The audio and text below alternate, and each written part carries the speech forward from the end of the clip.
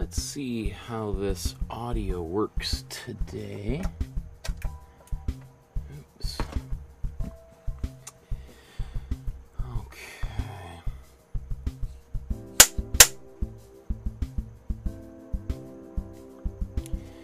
Good afternoon, everyone. Welcome to my studio. My name is Michael Markowsky, and today we're going to recreate another painting by another one of my favorite artists of all time. Today we're going to be looking at the art of.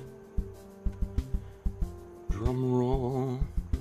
Claude Monet. And we've actually, I think this would, might be our third Monet painting we've done. Um, and this time we're probably tackling arguably his most famous uh, imagery, which is his water lily series. Uh, and this spe- specific painting um, is roughly about two meters wide by two meters, t- uh, well, a little bit shorter than two meters tall, but it's a it's you know a larger painting, but not nearly as big as some of his largest water lily paintings, which literally stretch all the way around a larger two large rooms in Paris. But we'll, we'll talk all about that shortly here. I love this painting. This is going to be a fun one to do, and we're going to try to do it from start to finish in about two hours. So let's uh, let's sort of talk about the plan of attack here. So what we're going to do to get started is we're going to get the image onto the canvas, and then we're going to stain it with a little bit of color and then we're going to talk briefly about Claude Monet's biography because we've we've talked about it extensively in the past. So really, today's mostly going to be just a painting episode. Um, but as you probably know, I, I find it very hard to keep my comments brief. Um, so we'll, we'll probably get into a few things. But anyway, then we're going to start painting in the background, then the foreground, then the background, finish the foreground, finish the painting, and then at the end we'll do a side-by-side comparison. So if you're watching this episode live you'll get to see me do work through the painting from start to finish without any edits uh, with the, all of the mistakes that i make. And usually even though i'm a professional artist i make one or two um, will you'll see that happen. If you're watching the video long after it was recorded you can always just jump right to the very end and there's timestamps uh, chapters in the, the uh, description below. Maybe right before we move on, let's just a uh, quick reminder like, subscribe, hit the notification bell, tell your friends about it, join the Facebook group, and upload a photograph of the painting that you make today to the Facebook group. Next weekend, I believe, we're going to be gathering together just to look and celebrate at all of the great artwork that you've been making. And that's probably one of the most popular things that we do around here. So I would love it if you join that group. And if you want to support the channel with a small donation, this microphone, new microphone, which I, I just bought, I've got, and this big weird thing that you'll see here, uh, are all from the, the donations that, that people like yourself have, have uh, donated over the past uh, few months. So that's what allows me to make the these episodes better and better and better and to do more of them. So if you'd like to see more of them, there's that's one way to support the channel. Okay, so let's get into the image transfer. So the first thing to get an image onto the canvas, you could certainly draw this out. This is not really one of the most complex images of all, but in the the description below, you'll see that there's a link to a uh, a Dropbox folder. And in this Dropbox folder, you're going to see a lot of other folders. The first five, four here are for our introductory episodes, like literally starting from scratch, what paints to buy.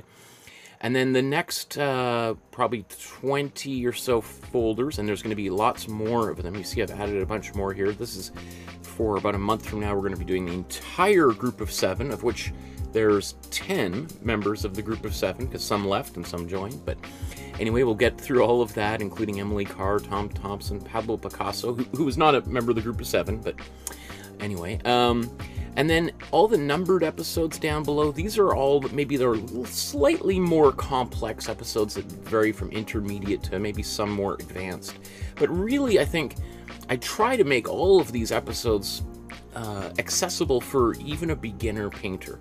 So even though you might not be able to do the, the greatest job, I think if you follow the instructions, you could do a pretty good job, right? So anyway, where are we? We are right here. 00V, and then here you're going to see there are four files. Two of them are, are identical. One's a JPEG and one's a PDF. Let's take a look at those files. So you'll see there's the original painting itself, and then there is an outline that I have done, and you can download this exact outline from the Dropbox, as well as there's a little cheat sheet that I've included here that might give you a little bit more specific information on kind of the ratios for some of the colors that we make. So I'll be sort of referring to this uh, occasionally throughout the episode. So let's uh, get this image onto the canvas. And to do that, after I've printed out the file, I am going to, let's say the first thing I'm going to do is uh, tape it down. And I'm taping it to a blank um, canvas board. And I've also actually, just incidentally, I've also gessoed this. And gesso is basically clear paint that has plaster dust in it and that helps to fill in the texture, the weave of the canvas and make it a little bit smoother. Um, that's just something I really like. I would say probably a lot of professional painters, the majority of professional painters, do this process, put a little bit of gesso on there to get it smoother, but but not everyone does. And of course, they come pre-gessoed, they makes them look white. Um, but I like to put a little bit extra on so that it gets just that little bit smoother. Now, I'm using some carbon paper here. You can use graphite paper. Can buy that at your local art supply store or even a fabric store. And uh, this is uh, tomorrow is a big holiday, a new holiday here in Canada uh, for uh, reconciliation with the First People and some people refer to it as Orange Shirt Day. So I'm just, I got my little pin there. I could put it on my shirt, but it, you, you might see it a little bit more clearly on screen here. Um, so I'm just going to trace this really quickly. Now we're going to paint over all of this. And so I am not at all worried about doing a great job of this. You know, some of my lines are going to be pretty wonky. I just want something that helps me get into the, the, the, the basic ballpark here so that the composition, and the composition is how is this composed, is roughly accurate. As I said, I could just sketch this out, and probably many of you will if you don't have a printer at home. But uh, this this also kind of helps if you're a beginner painter, um, just jump right past the drawing process.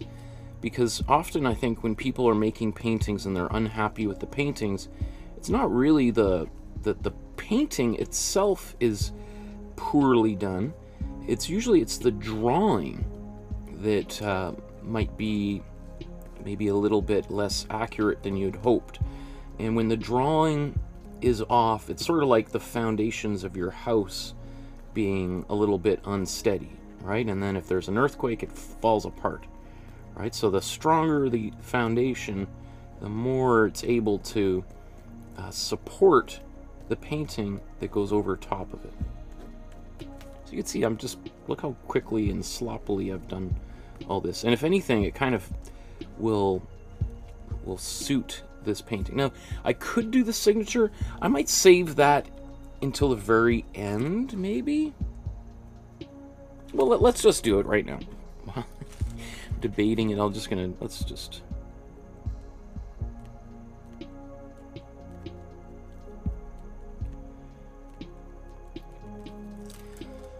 Okay, looks a little bit blurred. Okay, so you can see you know, it's yeah, a little bit, uh, a little bit hurried of lines, but I don't mind, and neither should you. I, I've when I teach these classes in person, there will be people who will spend literally 45 minutes doing the outline. And I'll be like, don't worry, it doesn't have to be perfect. And you're like, oh, no, it's okay. I, I know, I know. It's pretty sloppy. And I'm like, it's for 45 minutes, I think it's not sloppy at all. I think you've done a pretty good job. I do like to kind of keep these around just in case. Um, so, uh, let's, uh, I think we're ready to go on to the next step here. So, the next step as part of this process is to apply a little bit of paint across the entire surface of the painting. And we call that the imprimatura, right? This is a, an Italian term that has been around for over 600 years. And, and really, most of the greatest painters of all time have been doing this. And I'd also say probably a lot of professional artists who who know what they're doing also do this. Now, before I, I start putting paint on here, I want to let you know what paint I'm going to be using. Right, so this is the brand that I'm using, not sponsored, not paid by anybody. I don't get free materials. I go and buy it myself to do all of these episodes, or with the generous donations that you guys contribute. But uh, one of the like, so when I, if you hear me saying I'm going to use a cool yellow, well, that's the cool yellow. If you hear me talking about a warm blue, that this is the ultramarine blues, and etc. Right? Um, you know that I very rarely use black, but if you wanted to use black, they do make two different blacks. But one of the things to always remember is generally the paints that we're using usually come in the larger size tubes or jars, regardless of the brand. So that's a good hint. If you're sitting there looking at two tubes, which is the right one? Often a brand will make larger jars for, you know, uh, that are, you know, just like you can get a small little thing of milk at the grocery store and a big jug of milk.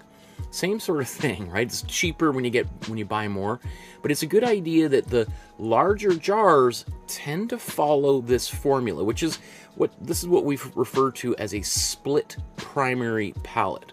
I'm not the first one to invent this this method, um, but I do think it is probably, especially for beginners, the best for sure by a long shot.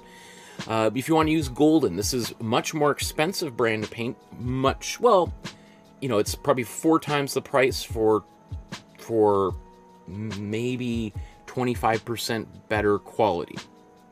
Which you know, if you're if you're uh, become if you want to move into a more professional sphere, that can be worth it for sure. Winsor Newton, um, Liquitex, Artist Loft from Michael's Art Supplies, Buzz, Pébéo, Holbein, and Daler Rowney. And there's a couple new ones I haven't added here for some of my friends down in India who've uh, who I've been chatting with recently. So I'll add that for next week. Uh, remind me to do that.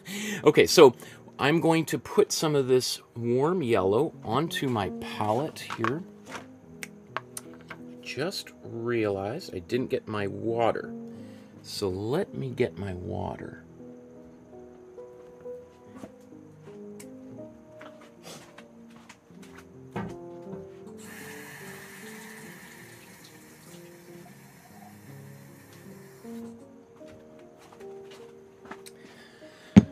Okay, so I'm trying out this new audio setup. Let me know. Oops.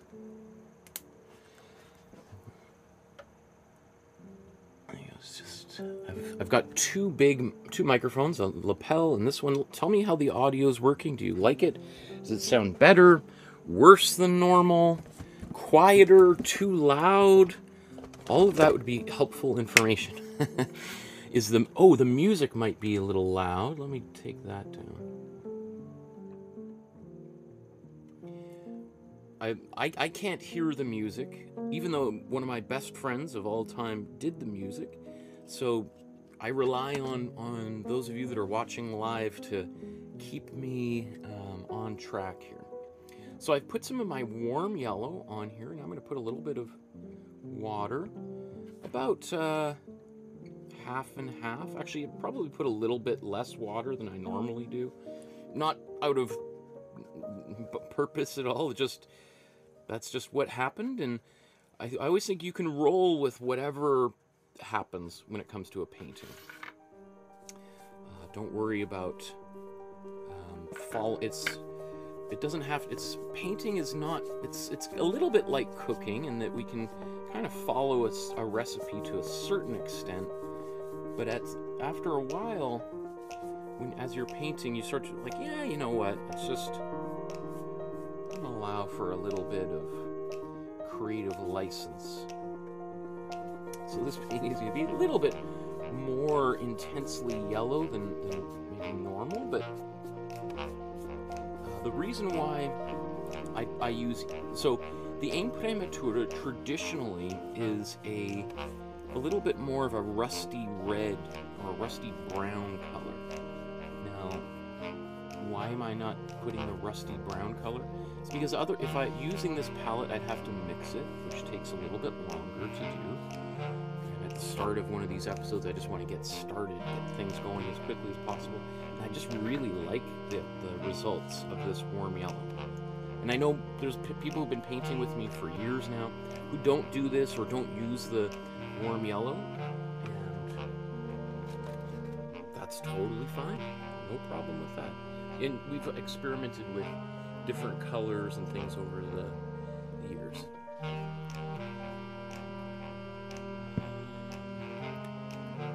Jesus is Lord says sounds crisp and clear. Kathy says the microphone is working good, seems the same as before to me. Believe Jesus says the music is a bit overpowering on your voice. Okay, good to know. Take it down even lower.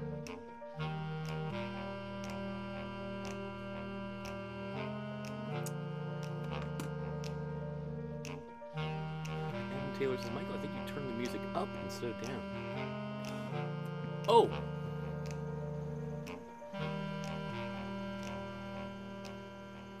I turned my microphone down and the music stayed the same. Yeah, it's been it's I I used to do these episodes like two, three, four times a week, and now I'm down to once a week after a bit of a break. And you'd be surprised how this that muscle memory kind of goes a little bit. Thank you guys for for uh, pointing that out. Okay, so hopefully that makes it a little bit better.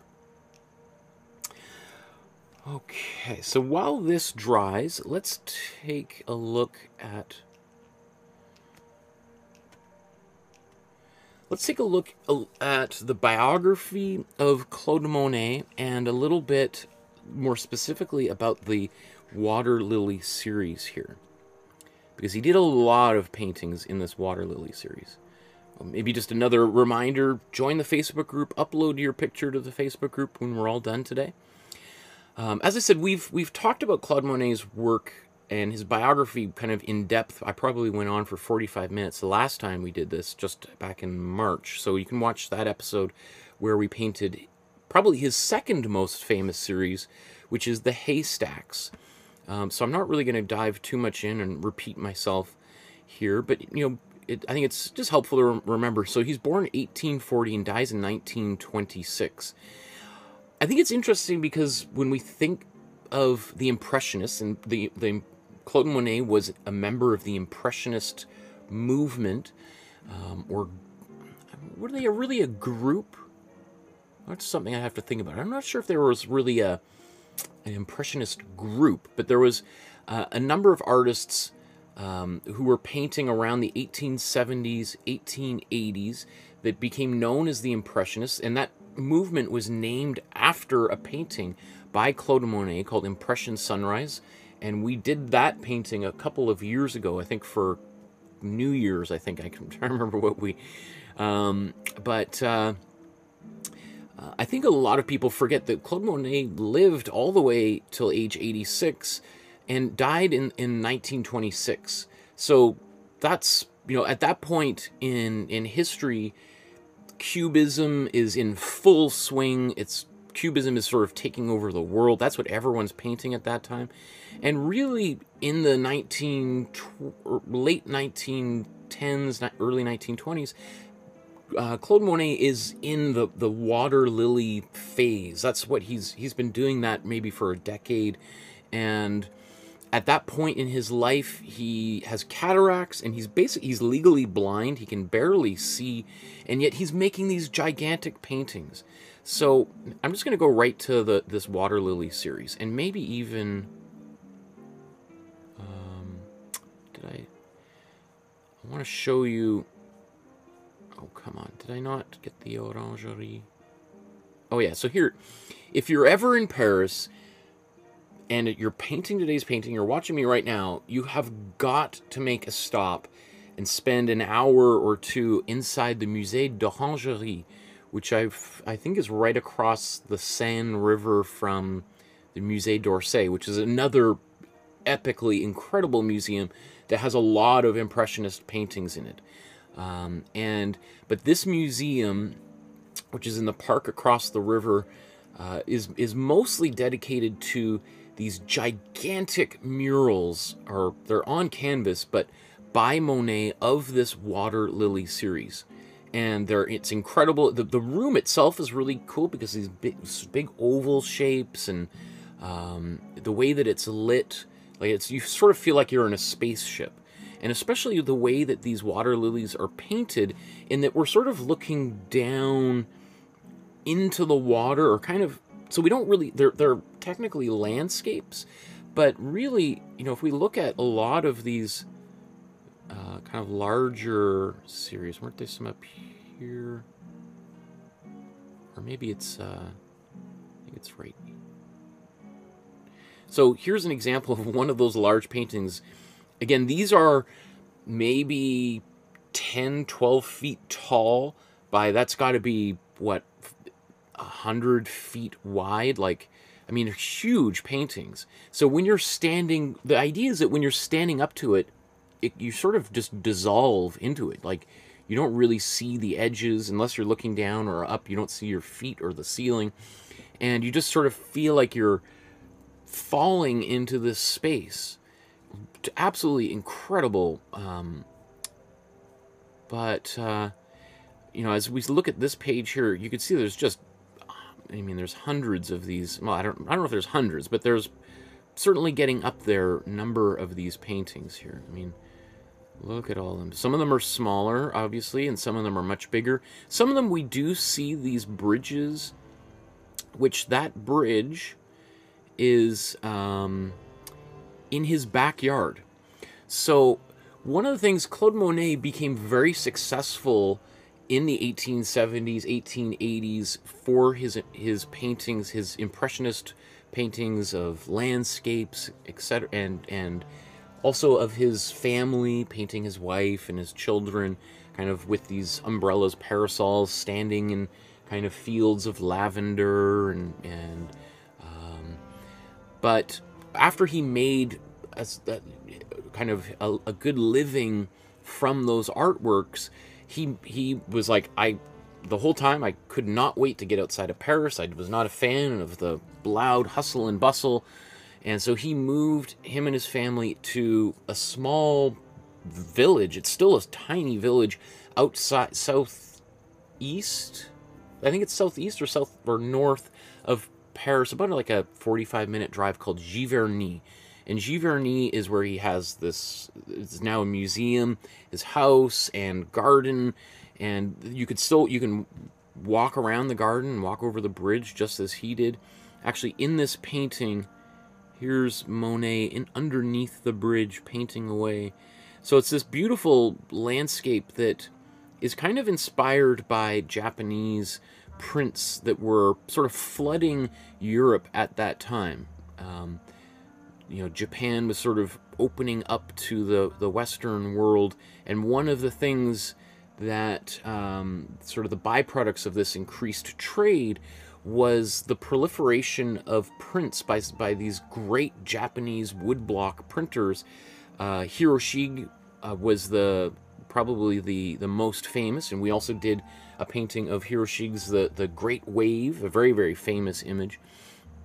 But a lot of artists like Monet, like Vincent van Gogh, who was part of the post-impressionist movement that began shortly thereafter. And in fact, some artists are kind of cross from Impressionism and into post Impressionism.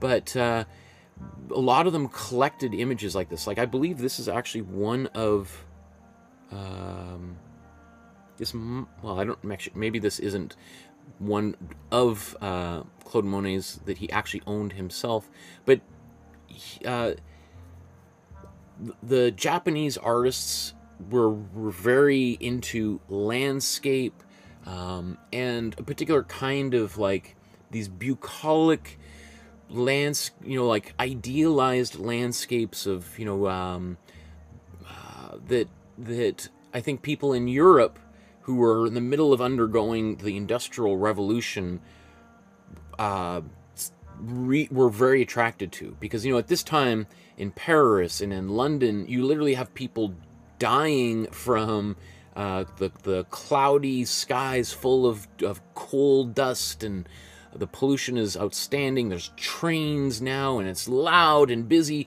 A massive transformation from the way life was maybe just 20, 30 years before. So these images of that sort of purported to show like a whole different world where life was peaceful and and uh, and seemingly quiet and idealized were very attractive to those European artists. So Monet literally transformed his backyard into a quote unquote traditional Japanese garden because I don't think he, he never had traveled to Japan all his idea of what a, a Japanese garden would have been, you know, probably filtered through a few few different layers there. Um, what else do I want to talk about? I want to get right into the painting here shortly. So, uh, but this is the painting itself, and this painting is in the uh, collection of a museum in. Uh, um, is it Vienna? Where is this museum?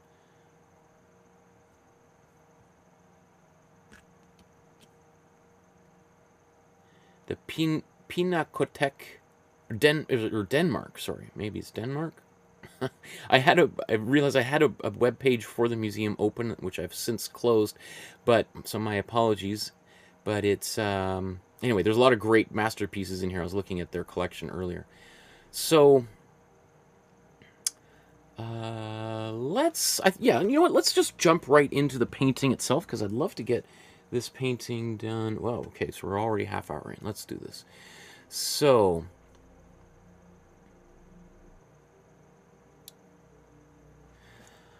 the next step that one might want to consider doing is what's called an underpainting. And I've talked about this before, but an underpainting has different meanings for different artists. Some artists will will sort of combine the imprimatura into the underpainting and sort of paint with maybe um, a, you know do a, a kind of coat of paint like we've done here, but maybe have uh, more concentrated pigment and literally draw the painting out, which is something we're going to do next week when we look at another Impressionist painter, um, Berthe Morisot, who was really the, the best female imp, uh, impressionist painter.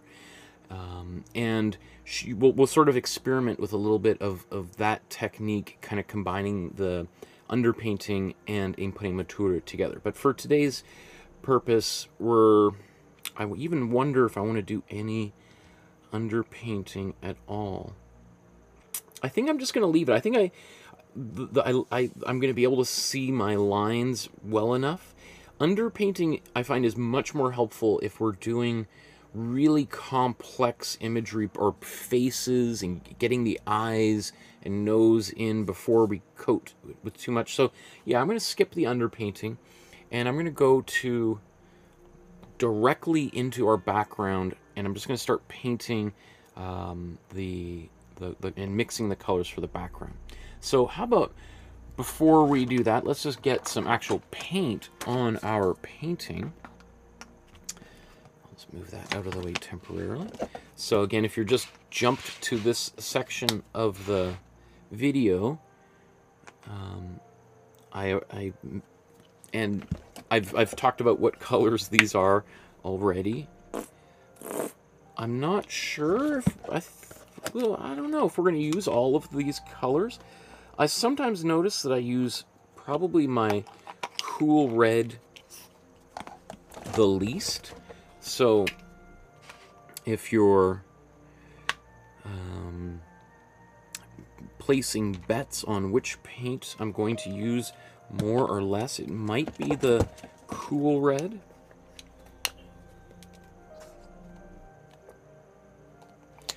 But I'm not a gambling man, so um, you may not want to take odds from me.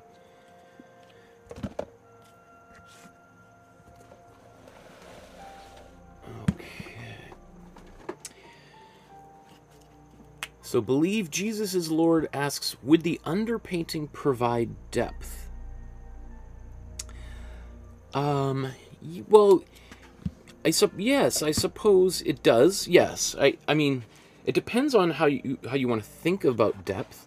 In in terms of the way Monet paints, um, yes, because the the purpose of that imprimatura is to give an extra little bit of of warmth. That's why I'm using warm yellow.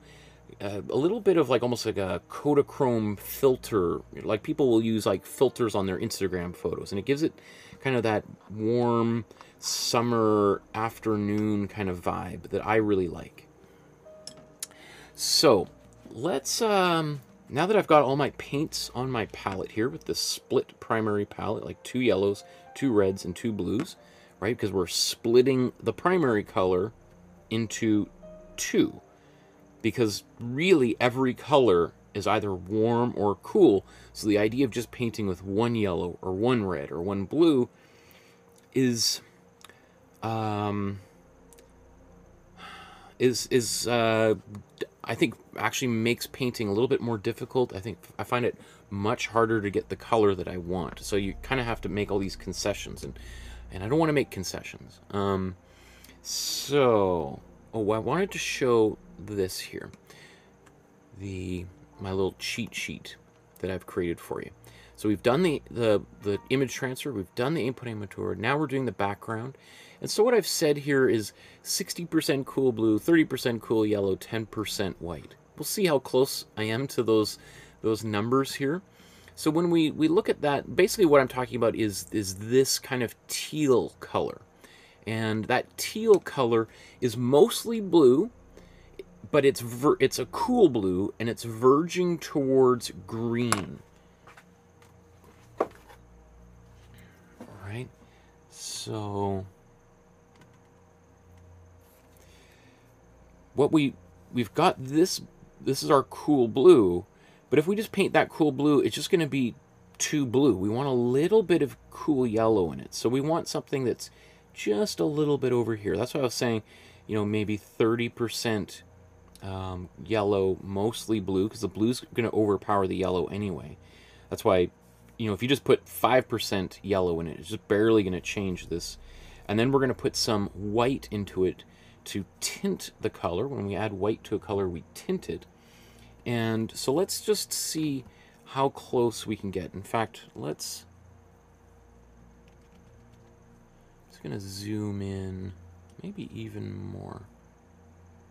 Put that up there. Okay. Oh, here's the brush I want to use. Maybe let's zoom in as well.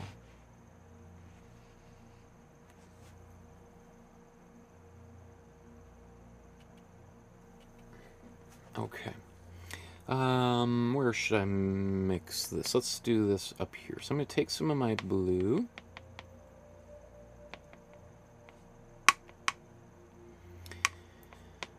And then I'm going to take some yellow. And I like to kind of just put it to the side here so that I don't mix it all at once. So you can see I'm mixing a little bit in there. And the color's transforming, becoming almost a little bit darker, one might argue. Um, and now it's a it's a teal, but it's now much it's too dark. Like let's see if I turn this here. We can see that that teal kind of works for some of these areas, but we, we it's not nearly white enough to get into some of these other areas.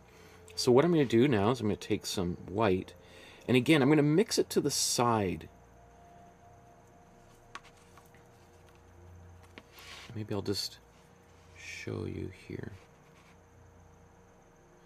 So that's pretty close. If I felt like I needed, like let's say I could take a little bit more yellow. If I'm mixing into here, we don't want to put too much in there. Otherwise, it's going to go really green really quickly. I think that's good enough. So I'm just going to jump back to here. I'll move this just out of, or just at the top of my frame here. And then as I paint this, one of the things that I'm going to do, and what Monet would do, is you'll notice that I, one of the things that Monet would do is always, like almost every time he dips his brush back into the paint on his palette, he kind of changes it a little bit. So every brushstroke is, is a little bit different, which is very different than, let's say, the, the Andy Warhol painting we made last week, in which we really wanted as consistent and flat of a color as possible, with, with no modifications in it whatsoever. Monet, very different artist, working a hundred years before, uh, or well, I guess, really painted this painting maybe only 50 years before, you know, which, you know, is in the span of, of art history, a blink of an eye. it's kind of crazy to think like, just 50 years after Monet paints a painting like this, we have Warhol, which seems like light years away. But uh, anyway, so now I'm just going to take my brush and uh, maybe I'm going to bring this back here. And as I paint, I could just really quickly fill in everything. But what I'm going to do is sort of just hopscotch around and kind of maybe looking for maybe some of my lighter areas. Now, I'm not sure if that comes across on camera very well, but I'm painting over some of my lines. Now, you have to be careful. If you put a lot of white into your on your paintbrush, it can really hide your pencil lines. But, you know, I, as I said, I've got maybe 10, 20% of white in here. So it's still going to allow a little bit of that color to come through.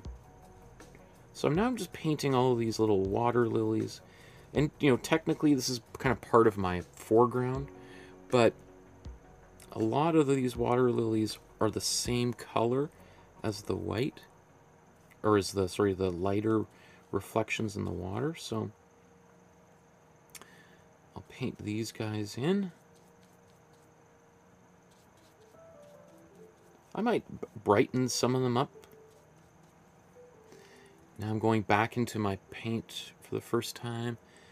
And sometimes I like just to get a little bit of paint on the outer edges. So I'll just do that real quick.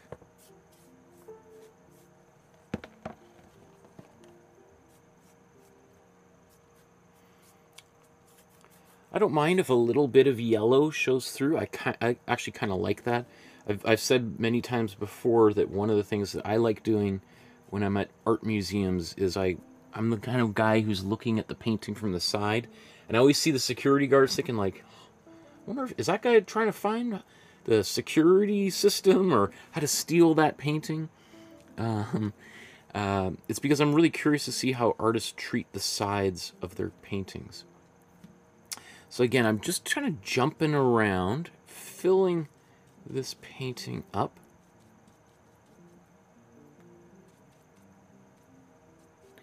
You can see, like, I'm not too concerned about making this painting perfect.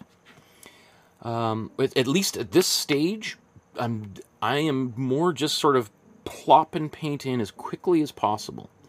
Uh, I'm going to add maybe a little bit more white here quickly. Make up another mixture that's a little bit more white. and just sort of paint some of this in. And I'm kind of moving quickly too because the the thing with with uh, acrylic paint is it dries quickly, right? So if I want to kind of have my paint mix at all, on the canvas, I need to be painting quickly or I want to add things into the paint that will help it, um, to slow the drying time down.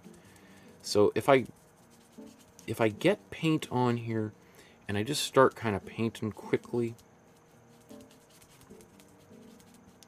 then the paint that's already there can kind of blend a little bit into the paint I'm using.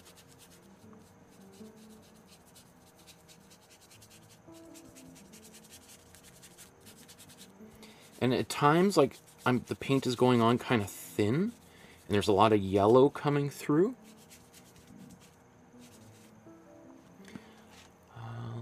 To take this sort of lighter color again.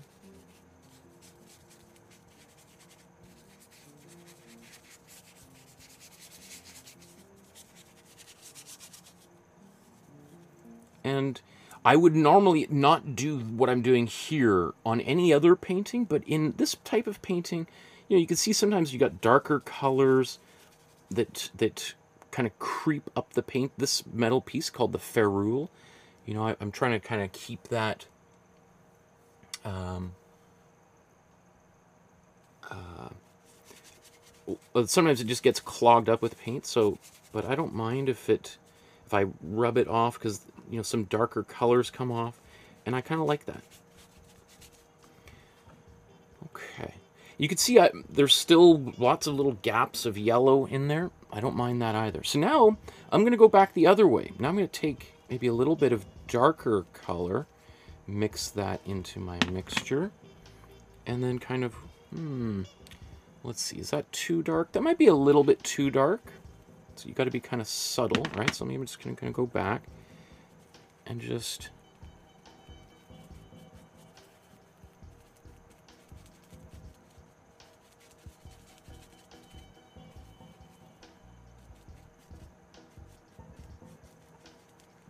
you can see how the right side of the painting starts getting you know there's it's uh, darker anyway but we might use a, a slightly different color there so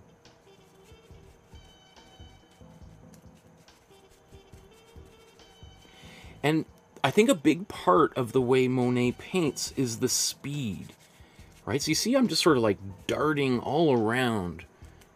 And it's, you know, easier said than done if you're a beginner artist to paint quickly because you're just like, I don't know. It's like, that's, you know, it's like uh, watching a chef chop, you know, vegetables really, really quickly. Chop, chop, chop, chop, chop, chop, chop. Whereas, like, for me, it takes 20 minutes to cut up an onion, right? And you're like, yeah, I don't think I'm quite that fast. But ideally, the way that Monet would paint would be really, really quickly because there's there's a look that paint has when it's applied very quickly that is pretty hard to emulate if the brush is just sort of slowly going across the canvas. So again, there's there's areas that are a little bit patchy with a little bit of yellow coming through. And I, just want to remind you that this is still the first stage of the painting. I'm just quickly getting the, the paint on here. And then I'm going to kind of, we're going to work a little bit more in the background. And then I'm going to start doing some foreground stuff. And then I'm going to come back to the background. I might even remix that color again, which means it might be slightly different, which in this case is great because it adds that little bit of variety. Um, but uh, I, I'm, I'm not interested in creating this nice, smooth, like for instance, again, this was our Warhol painting we made last week.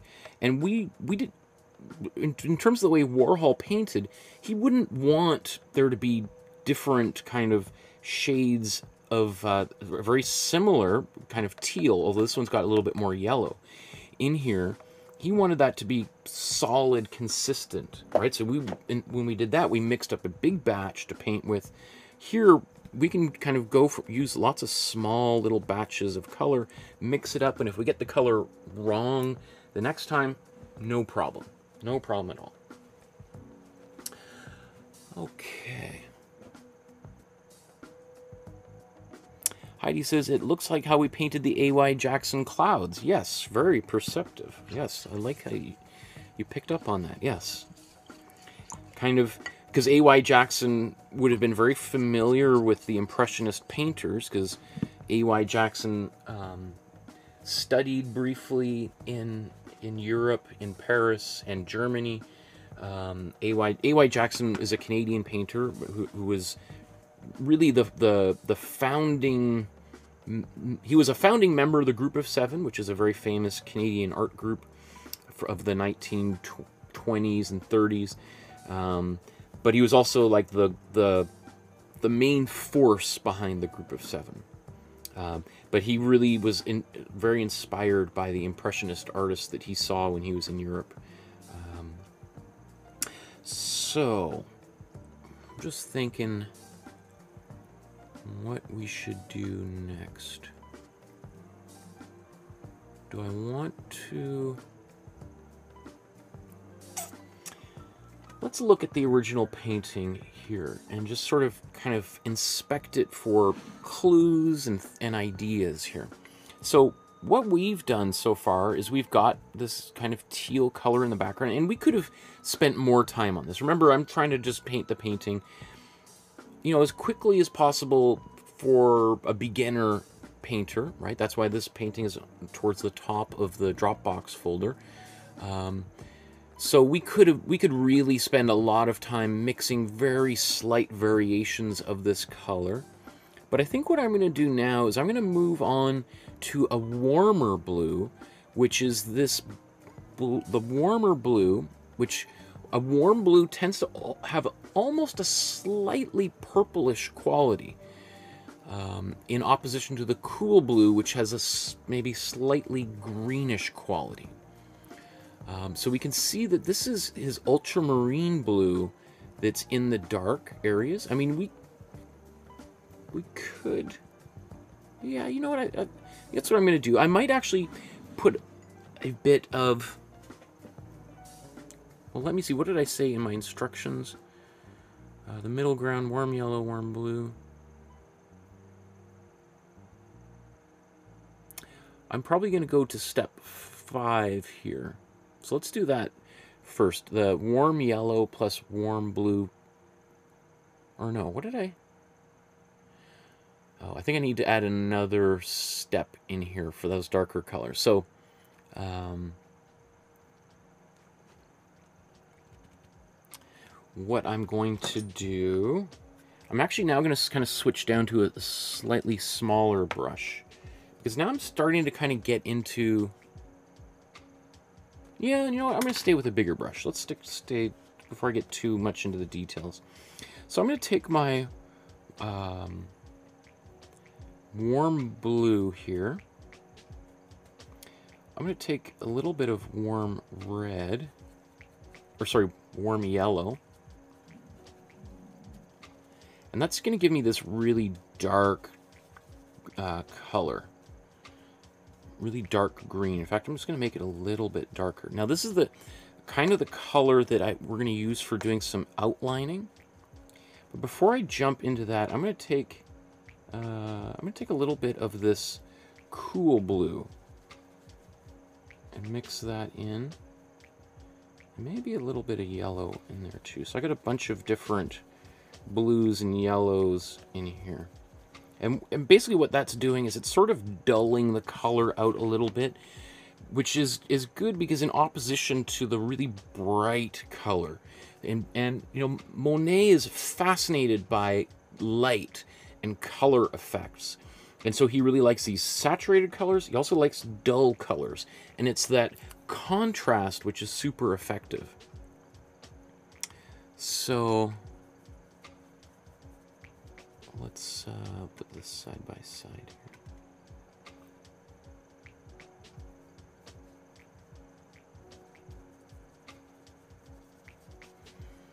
And so I'm just sort of painting kind of pretty loosely, almost like a little bit of a dry brush. And don't worry if, you know, if I'm, if I overlap some of my, um, Uh, water lilies in here, that's okay because I can just paint them back later on, which is exactly the way that Monet would have painted himself.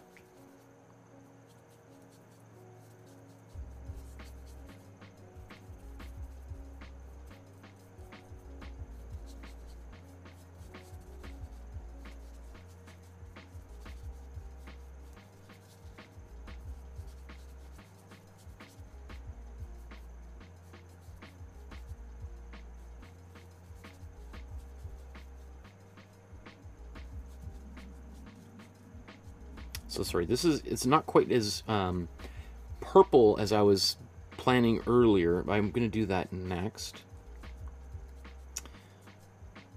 This one's got still that, it's got a bit more of a, warm green quality. And you can't go wrong here. If you if you accidentally put a little bit too much of a dark color, let's say I'm to put that up there, which is not really there, that's okay because I can just paint, use that as an opportunity to introduce a little bit more lighter colors over top of it.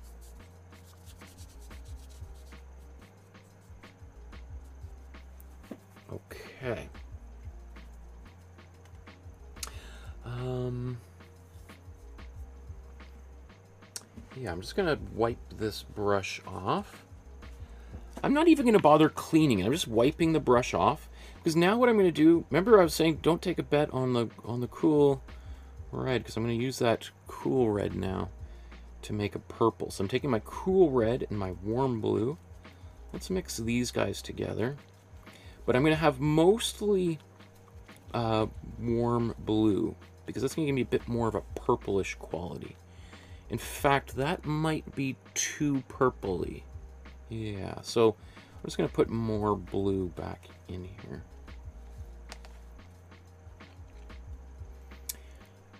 And I wonder, this might be a bit strong of a color to put directly in. So what I might do, and you could do this with a little bit of water, but I would strongly encourage you to instead use a material like this, which is called um, matte medium. And matte medium is just clear paint that has no pigment in it. And it is matte meaning when it dries, it'll dry non-reflective. There is gloss medium, which is again is clear, but has a shiny quality when it dries. I personally am a, I'm not a fan of, of like really glossy paint.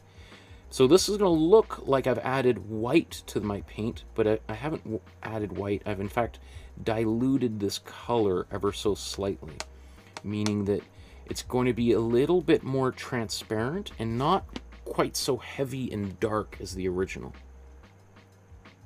So I'm just going to kind of brush this in in a few places.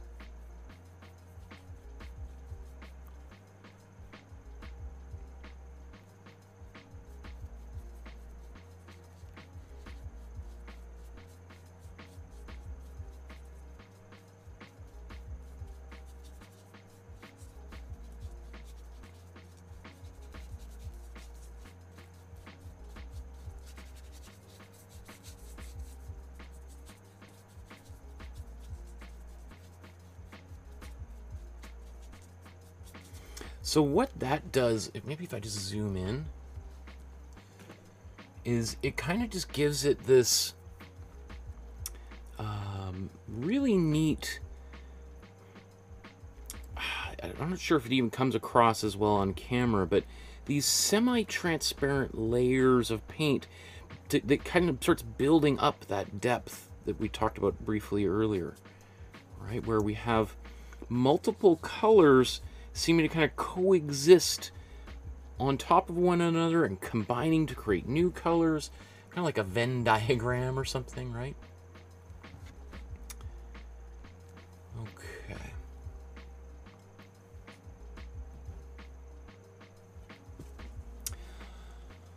So, I think that's good enough for this layer.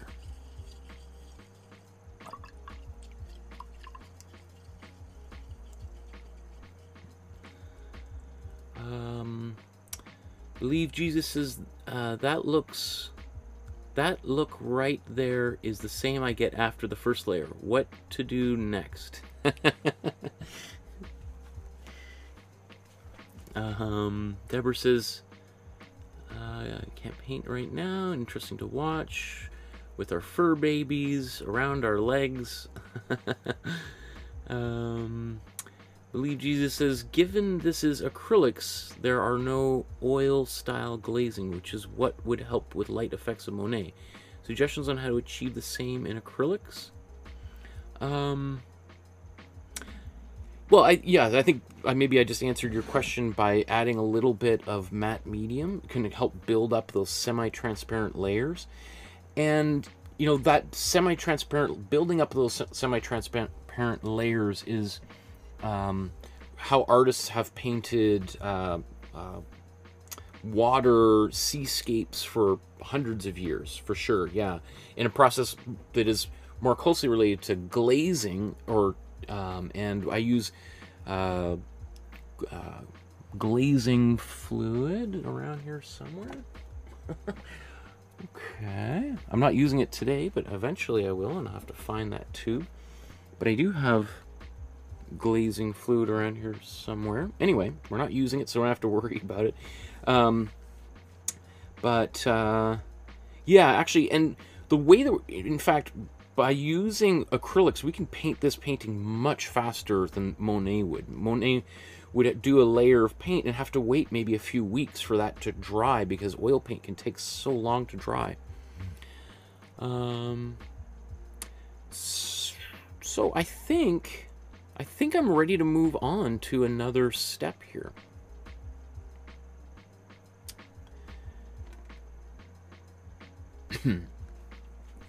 so now that I've got my background kind of roughly um, kind of uh, identified here, what I want to do is start kind of plotting out maybe more carefully where the water lilies are going to go and where the, the seaweed is going to be.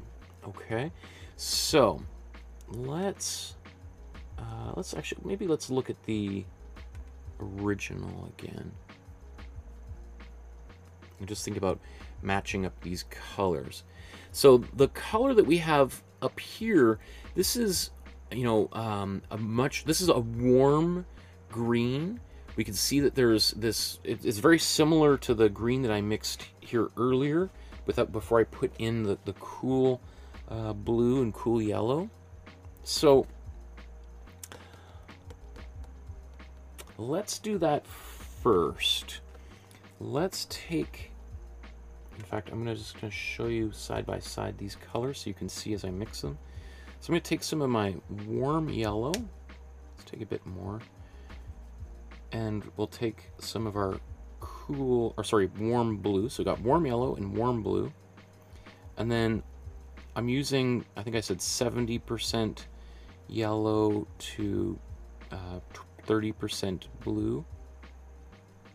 Obviously, the more um, yellow I put in, the lighter it's going to be. And one thing, I might just add a little bit of white in here. Just to help separate it a little bit from the background. Sometimes if you're paint, you know, if you're painting a lighter color on a darker background, it might not show up quite as well. So I'm putting a little bit of this in and then I can always paint over top of it. And in fact, you know, actually this is the right size. This is good. And now that I should also show you how I'm holding this brush. So you can see the brush, I'm holding it but almost as far away from the from the tip as possible, right? And that's going to allow make the brush a, a lot more loose so as I paint these brush strokes, I'm also kind of going in kind of S shapes and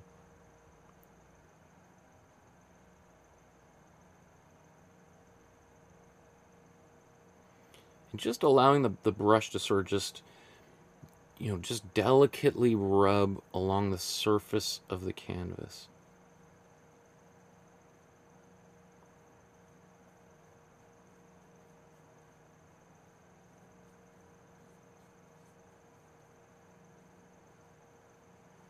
So, so in some areas it's going to be way more transparent.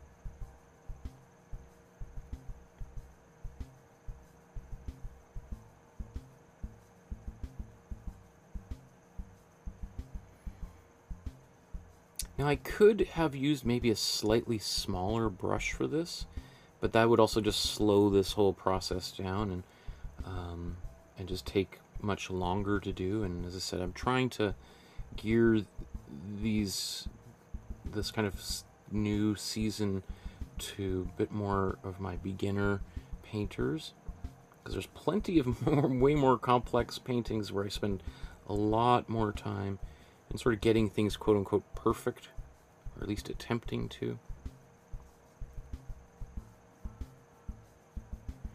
Okay, so that's a lot, and maybe maybe too much in certain places. That's okay. So now I'm just going to mix that color again with without the white. So this is going to make it a little bit more transparent and maybe a little bit darker, especially, you know, even if it's the same color, because it's going on to that, it doesn't have the white in there to that is going to um, make it kind of pop a little bit more from the background. It kind of just blends in just a bit more.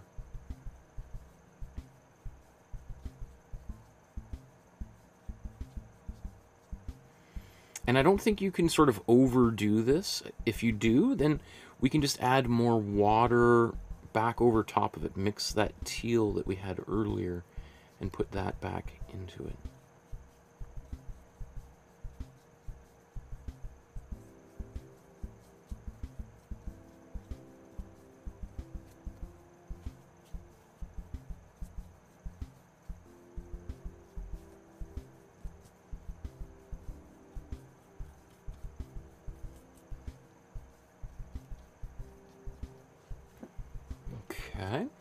Just going to take a bit more blue into this mixture. So I'm getting a darker green without any white.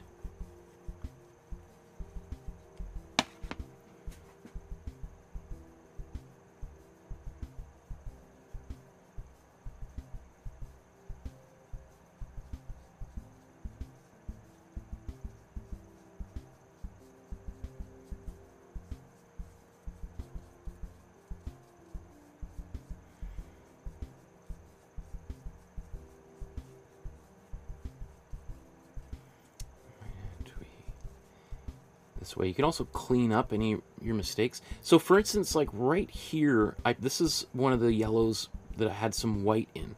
Now I paint right over top of it and with this darker color and it's almost like it, it I still see that previous color really well because it's got that white in there and that white is gonna it makes paint um, much more opaque and resists being covered up just that little bit more. Okay, looks good, but I think I'm going to go now with a lot more blue. Let's take some more blue.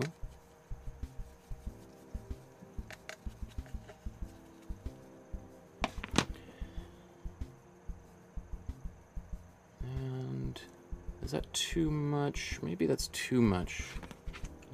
Let's just go take it down just a bit more.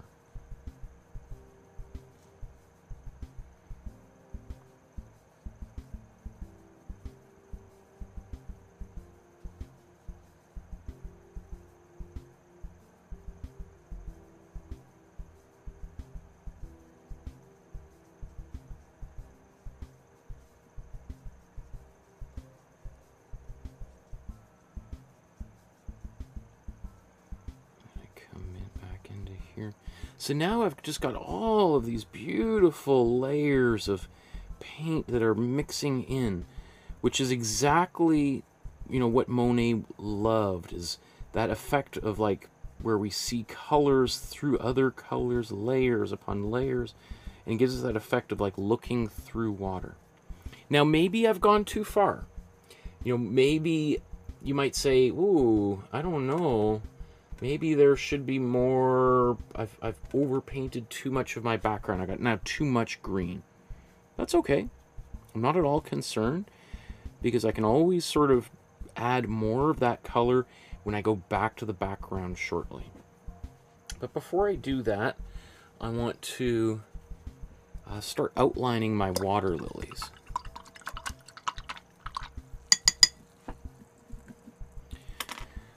So I'm to go to I'm to go to a small brush now.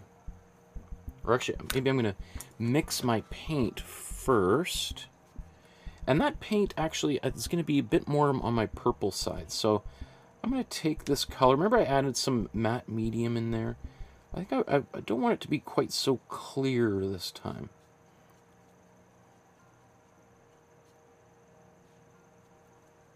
Kind of getting a bit purpley.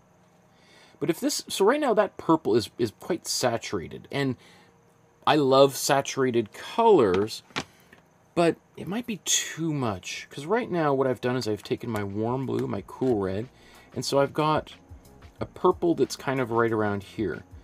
I think I want a purple that's still just a little bit less intense.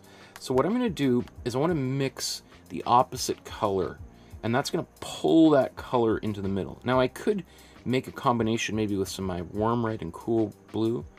In fact, maybe let's let's do that just for for giggles here. I'm gonna take my warm yellow and let's just mix into this purple. Maybe I just maybe was a little bit heavy-handed there. And you know what? Now that's gone kind of um, a bit gray, which doesn't surprise me that that would happen. So now I'm just going to dilute that by adding more. So now we've got like a very dark purple, like a really dark, uh, what would you call it, like eggplant color. I'm just going to put that to the side and just uh, let's mix up just so you can kind of see that we can kind of get the same color with two different colors. So if I take these two and mix them across the color wheel, my warm red and my cool blue, I arrive at a color that's similar here. Right? Maybe this one's still got a little bit more vibrancy to it. This one's definitely much closer to this neutral core. So this one, I think I'm, I'm going to use this one anyway, just because, again, it's it's it's um, I, I, I prefer the ultramarine blue, which is dominant in here, because that's also going to make that color come a little bit more forward, versus the other color I just mixed has a cool blue, and if the cool color is, if we have more cool pigment, that is going to make it want to recede a little bit backwards.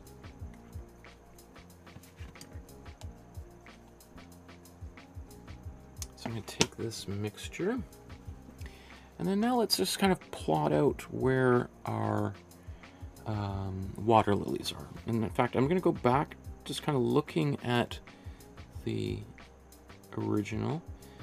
And again, I'm not, I don't want to be perfect because otherwise these are going to be too rigid and, and carefully done. And part of the way that he's painting is it's a little bit kind of wobbly and so I could even maybe move my, my paintbrush up a little bit higher.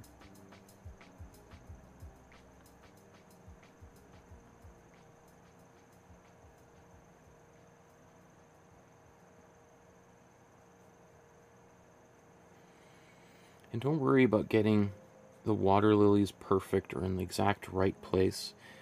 Um, probably my own outline is not perfect either because it, it's pretty ambiguous as to how these water lilies look. And so some of them are maybe more formed than others.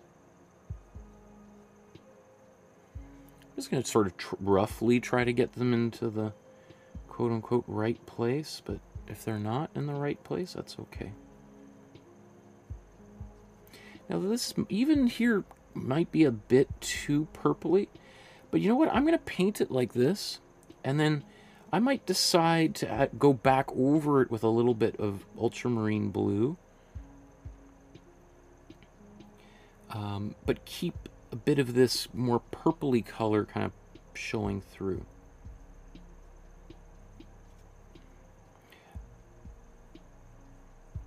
you know, it's one of these things where,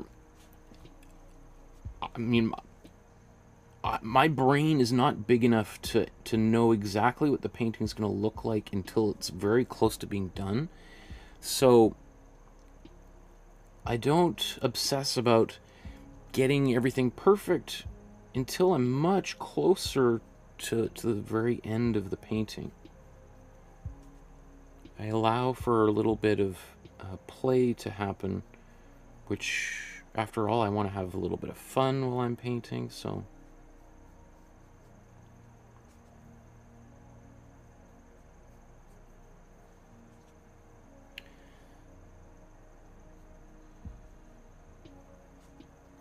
There's a big crowd watching. That's awesome.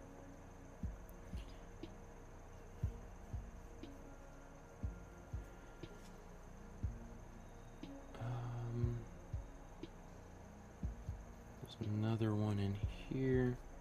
So notice like my my outlines are almost totally gone by this point, right? And so I'm uh, kind of making things up a little bit as I go here looking at the original for some inspiration. I think it's possible that this might look quite different than the original after a certain point, which I don't mind. In fact, I like. It kind of makes me feel like uh, I'm not a, a, slave to the original. Okay, now maybe just before I, I move on here, I still have this purple.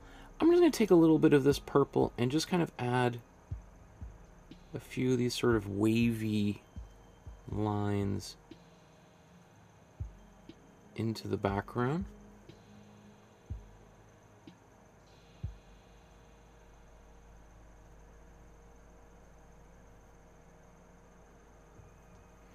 And the brushes, you know, I allow it to get kind of some areas kind of clumpy and some that are a little bit thin and dry.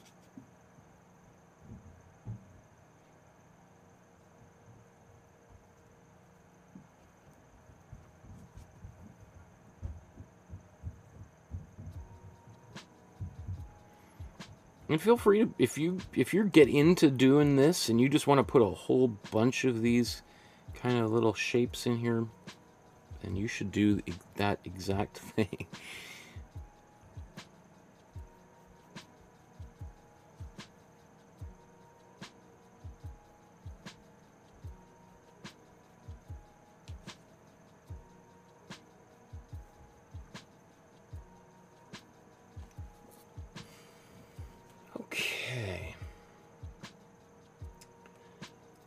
think that's pretty good for that step.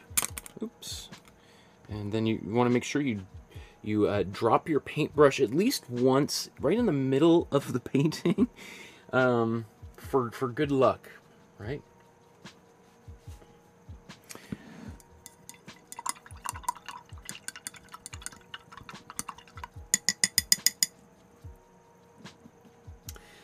So, I, yeah, I'm going to go to a little bit more of my my uh, warm blue.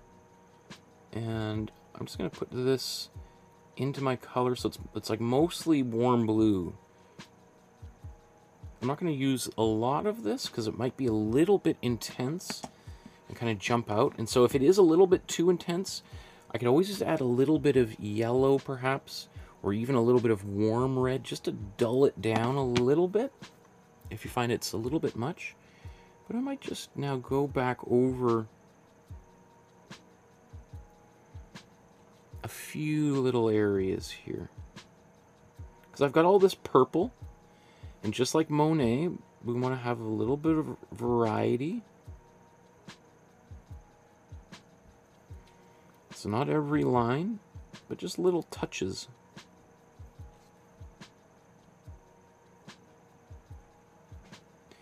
So Monet would have painted this painting outside in his backyard at Giverny in the Japanese garden he had built. Um, and he was one of the first artists to go outside and make a painting. And, you know, in today's world, it seems like kind of like, well, what is so unusual about that? Like, why is that a big breakthrough? Why, why would that be something special? Well, it's because for the vast majority of human history, um, artists had to mix their own paints. and this is this is actually really well shown in that movie Girl with the Pearl Earring, starring Scarlett Johansson. It came out like a decade ago. Um, and in that movie, you see the artists Johan Vermeer, the artist Vermeer, um, mixing his own paints, and and often she would be the one mixing. She's like his assistant would be mixing the paints for him. And it's a time consuming. You're you're literally like pistol and mortar grinding up different pigments. You're like a chemist, adding a little bit of this, adding a little bit of that, stirring it together, and then you can use it for maybe a couple of hours to paint, and then you throw it out, or you just you try to use as much as possible. You really don't want to throw out your paint if you're mixing it yourself. Um, so you really couldn't go very far unless you you had a big, you know, a, a caravan following you you to and somebody mixing paint for you. You're kind of stuck in your studio. Um, one of the great innovations that, that transformed art during the Industrial Revolution is we started being able to buy pre-mixed paint in these little metal tubes. And artists could then just take a bunch of little tubes, put them in their backpack, go for a walk, find a really beautiful landscape, set up their easel, and just start painting, right? And that's, you know, we talked about A.Y. Jackson and the group of seven earlier. That's one of the, that's their big contribution to Canadian art history, even though there were a few artists before them doing landscape painting en plein air in the in the wide open outside in under the the the the, the sky um, the open sky. Um, but en plein air means that painting outside in the in the landscape in the uh, in the middle of the environment when it's might rain or it's cold and windy.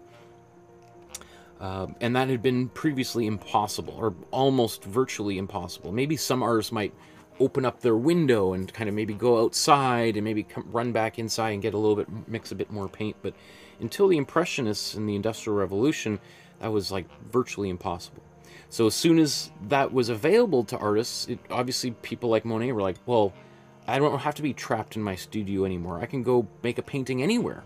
I don't maybe i don't even need a studio. I could just i, I make all my paintings outside. Anyway long story short let's go to our next phase. So we've we've done a pass on the background and done a pass on the foreground. What I want to do is go back to the background and just sort of maybe touch things up a little bit and then we'll go back to the foreground and we're going to be getting pretty close to finishing this painting um, on schedule and on time. So let's just think about what we might need to do to bring the backgrounds of these two paintings in alignment. So previously what I was doing was some, some very quick brush strokes. What I'm going to do is also some quick brush strokes, but I'm going to use maybe a smaller brush this time. And I'm going to remix this color. So I'm going to take my cool blue, put a little bit of yellow in there. Ooh, that might have been a bit too much. It's very greenish. Uh, let's take some white.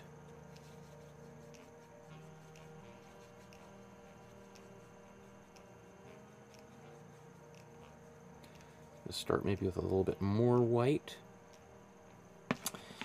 And then let's go in here and maybe just quickly going back over some areas, kind of bringing the the water lily shapes back into place. And again, my goal is not to get a color that's exactly like the color that was there before. It's to get, in fact, if anything, I kind of almost want people to see that I'm mixing a different color so that they see that there's like, I'm moving around and um, touching the same area a few times, creating a sort of web of color.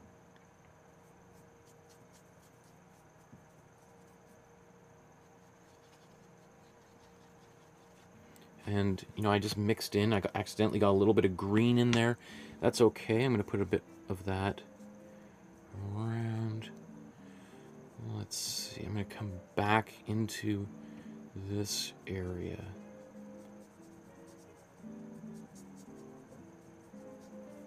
Paint that out a bit.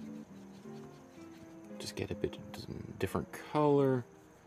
What is this color? It's a little bit more teal. That's okay.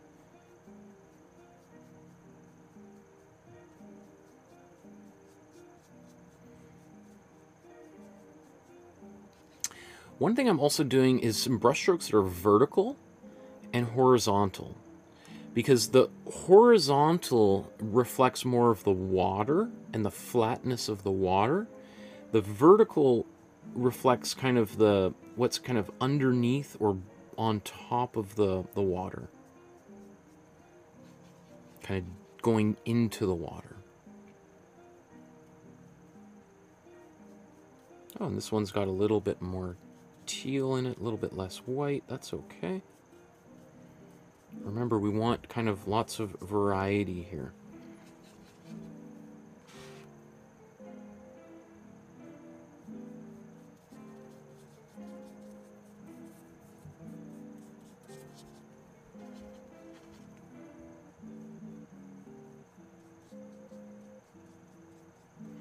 So to kind of help with that, sometimes just zooming around the painting, applying a little bit of paint here and there, getting a little bit of a different color on your brush, and then going, and then sort of just back and forth, back and forth, might help give you a bit more variety in preventing it from just sort of all becoming one color.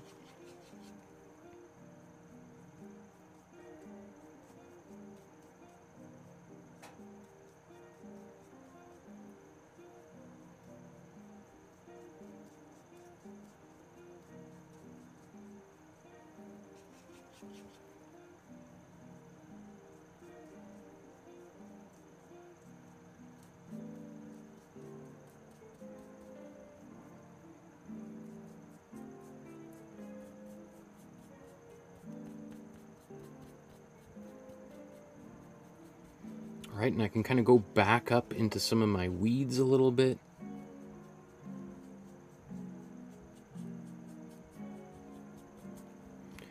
Little bit maybe more vertical lines.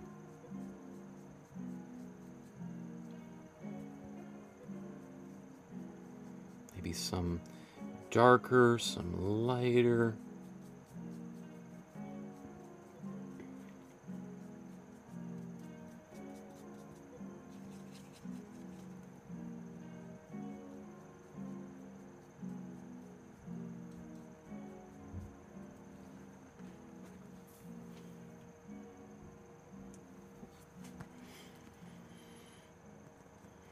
And we could just we could i mean i could i love this kind of thing. I could spend all day um, doing this type of thing. Because i loved the buildup of just lots of nuance in these areas.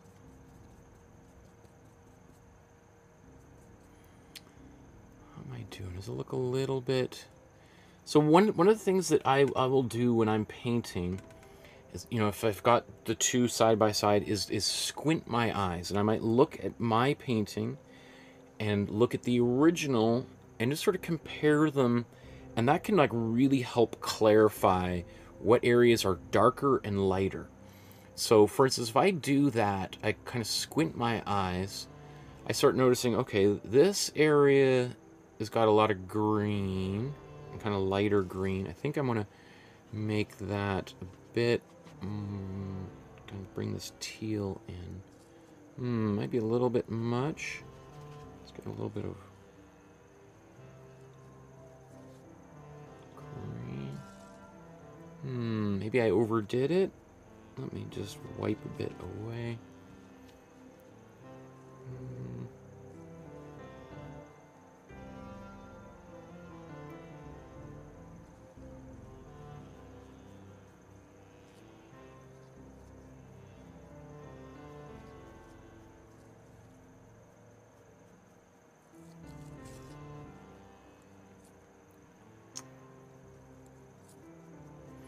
So, you know, also what we're you know when you're doing this kind of thing like this is exactly what monet is doing. In fact this is probably the part of painting that monet loved the most where he is just you know massaging the canvas over and over just taking a little bit of a different color dabbing it around um, and he would be painting that that landscape that these water lilies in his backyard.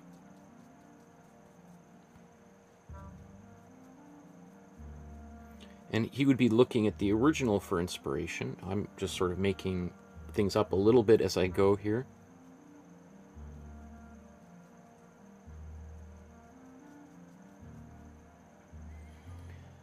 Um, I guess I need to kind of bring that back. Right, so I paint. I can paint things out. I can paint things back in.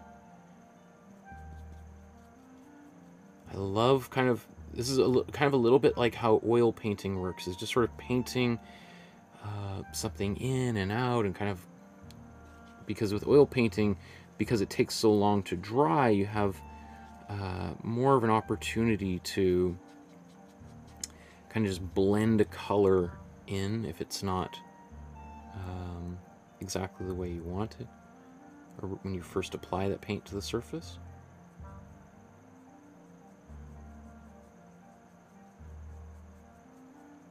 So there's this weird area in the middle of his painting that sort of gets kind of ambiguous, right? those lines kind of disappear. So I want to try to capture a bit of that. Or the, the kind of the outlines for the um, water lilies become ambiguous and less defined. So I want to get that.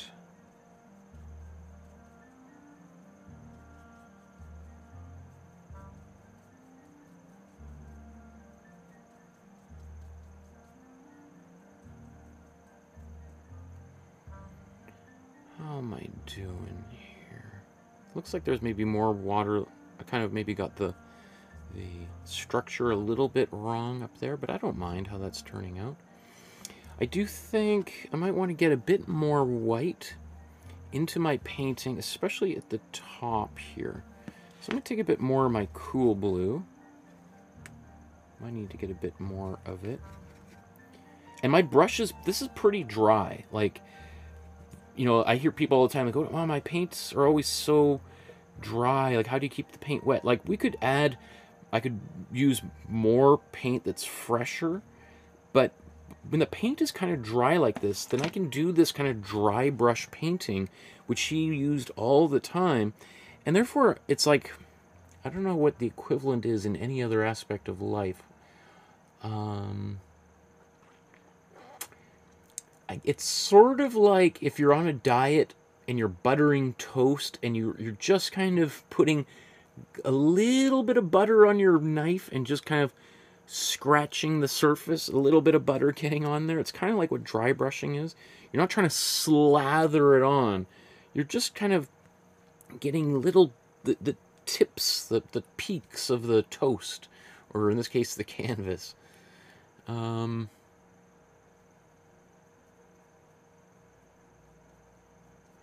So often when there's a lot of white in a color, it will recede. It wants to kind of go backwards into space, uh, as well as cooler colors want to recede.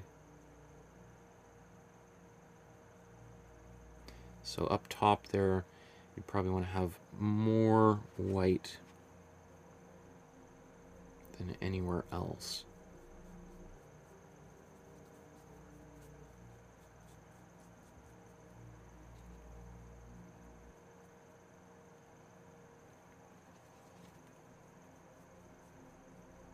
And if you kind of go a little bit too much, you can always try to rub it out with your finger, or just going to bring it back or with a rag. Or paint over it, of course.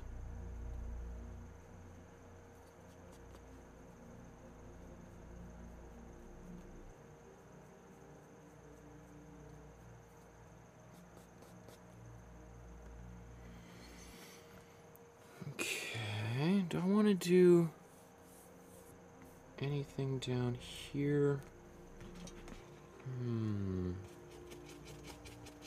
So this, I mean, there's barely, the paint is very dry. Just kind of kept getting a little bit of that yellow that was in my Imprimatura, getting, uh, hiding a bit of that, but I like when it comes through personally. So I'm not worried about covering it up completely. It just felt like might have been a bit too much down there. Okay. I think I'm content with my background. So I'm going to go to my foreground again.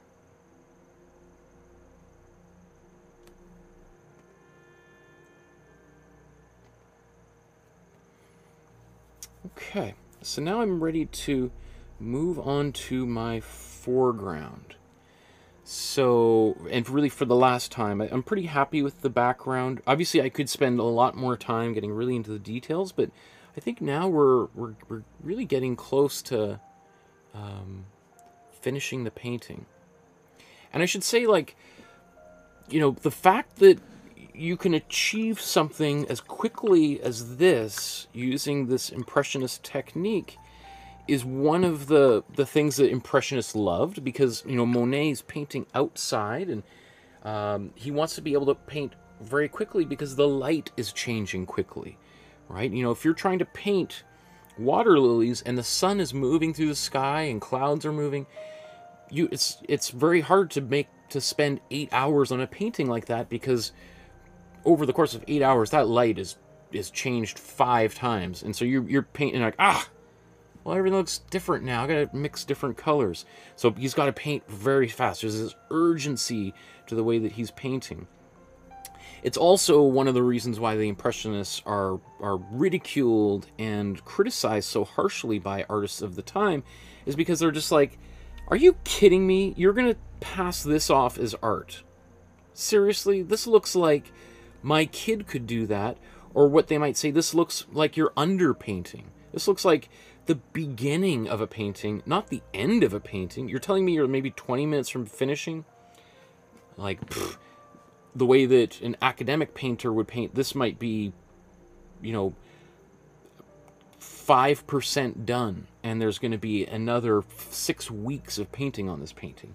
So you could imagine those artists who are who take like months to finish one painting, or like you're telling me you're doing two or three paintings a day, and then you're selling them for nearly as much or maybe more than the painting I spent six months on. Like, hmm, that that just is not that doesn't sound right. But part of them are like, hmm, maybe I should think and adopt that strategy a little bit more. I could maybe make a little bit more money. Anyway, let's, uh, what do I want to show here? Let's go to side by side and just think about what I might want to do next. I mean, I'm feeling pretty confident. I might, I could kind of clean up some of my my brush strokes in here, but I don't know. I don't know if I feel too compelled.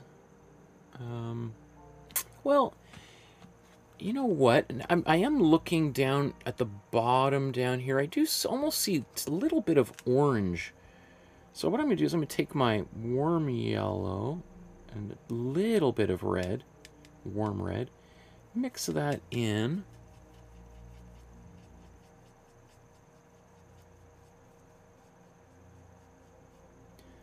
I'm also just going to take a tiny bit of blue.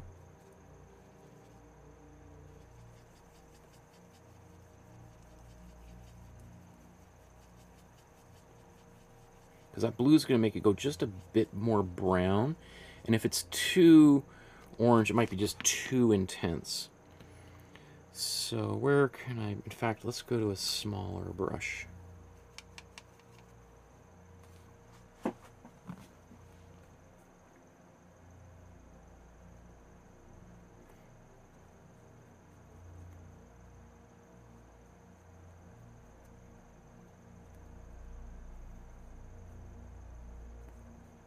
So you'll find that, you know, painting, let's say this color I'm right now, if I start painting it into some of the darker areas, it's going to barely show up.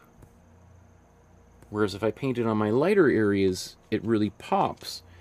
That isn't if I if I really want this color to show up in my darker areas, I might have to add a little bit of white, let it dry, and then paint back over top of it with the same color minus the white. Or maybe you don't need to paint over it a second time, but... Um, because as this paint dries, it's probably going to darken down and become a little bit less visible. So it might go on and probably on camera might be a little bit brighter, but as we go, it'll probably kind of disappear a bit into that darker background, which I don't mind. I mean, at least the way that that that what I need here, I don't mind, but uh,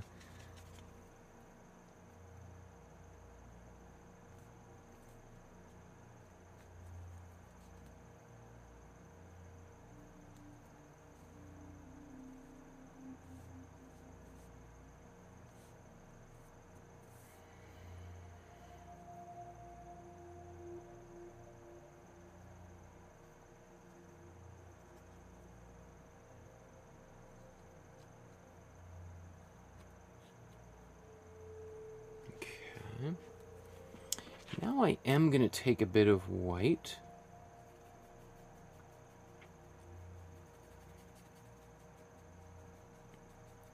Because there look like a little bit of a peachiness in the bottom uh, left corner, or sorry, bo bottom center here. A little bit of peachiness. We're still going to get to these flowers here. I haven't forgotten about them. But um, just a little bit of this down here. Now, also, you know what? I'm going to put a bit of my glazing fluid in here. Now again, you don't have to use glazing fluid. Uh, you could do this as a bit of a dry brush technique. You could try adding a bit of water. Um, but I always sort of discourage putting water into acrylic paint, except at the very beginning of a painting, because um, it's can make the paint actually look have a bit of a grainy quality as uh, um, because then it's sort of the it's breaking down the the bonds of the paint. So I'm just down here. I might have add, this might be a bit too much matte medium in terms. So I'm just going to add mix a bit more of my paint. So here's my glazing, or my matte medium.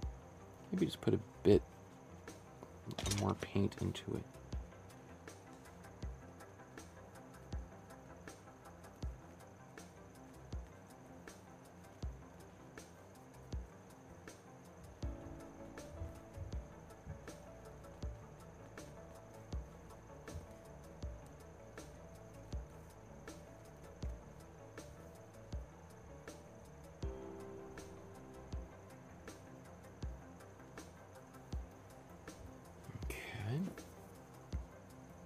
So, you know, I could just, I'm kind of fiddling here, just, um, but this is the kind of stuff that I love. I love doing, as you probably know. Um, so maybe I'm just going to try to wrap up this little bit, just a few little bit more details. This slightly peachier color at the bottom.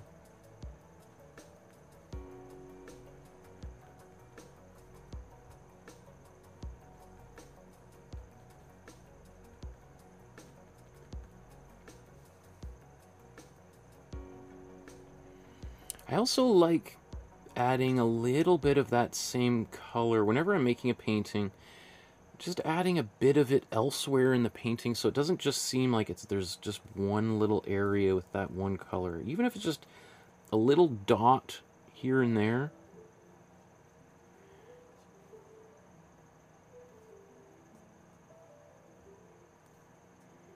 You know it's it's sort of you know like if you're when you're getting dressed and you're going out you know, if your your whole outfit is blue, but then you put on red shoes or something, it's like, whoa, okay, that's that's a little bit uh, of a loud contrast. So you know, some people will then maybe you got red shoes on, but everything else is blue. Maybe you have a little bit of a red pin. And then it's like, oh, there's red on the bottom, on, on the feet, and up near the face, right? So it's just making it seem like everything is kind of a little bit more cohesive.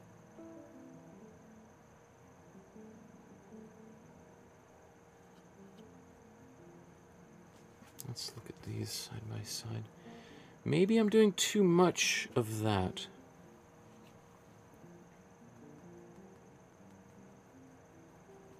So I'm squinting my eyes, looking at it, thinking maybe I need to get a little bit darker.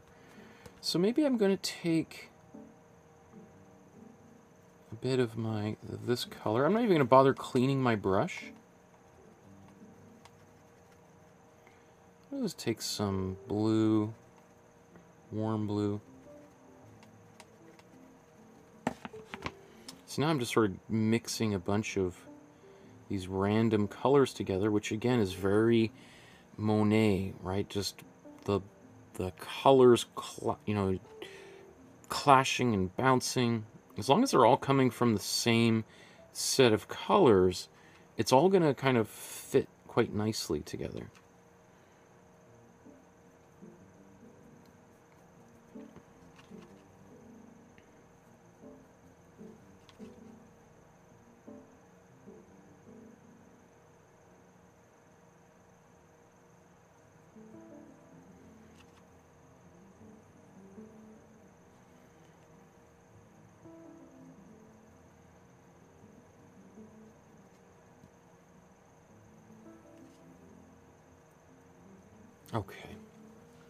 Think that's probably good. So now...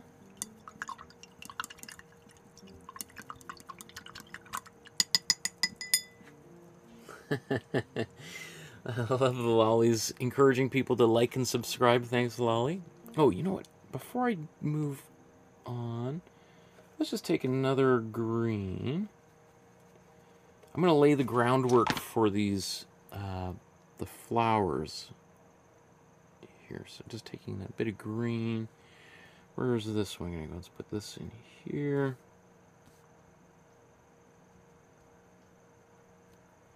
These are sort of like the little, the leaves for my flowers. So I'm just going to put those there. Let's get a bit of blue into that green.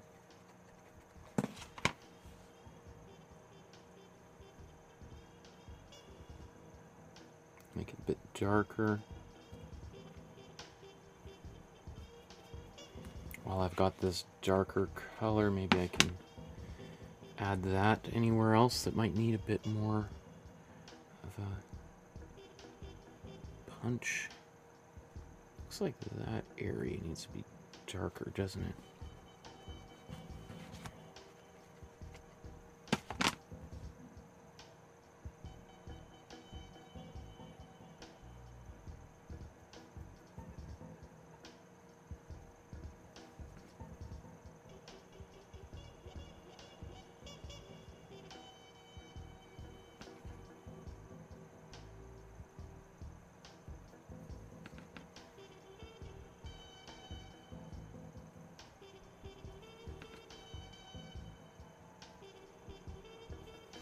Another thing I think about, like, with this type of painting is it, it kind of makes my eyes a little bit crossed because it's sort of like I'm not even really looking so much at detail. I'm looking at the overall painting and just sort of moving and moving and moving all over as much as possible.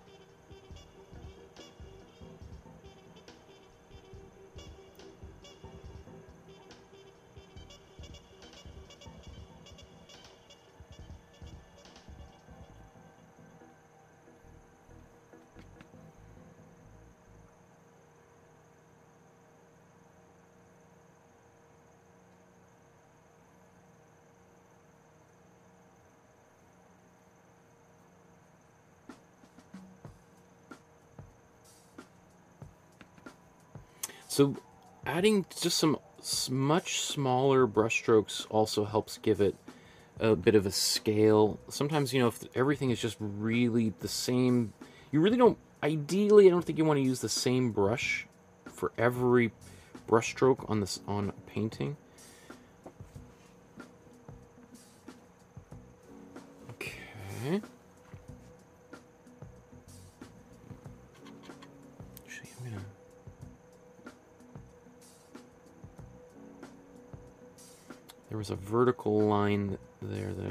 Like, so I'm just going back in with my purple a bit.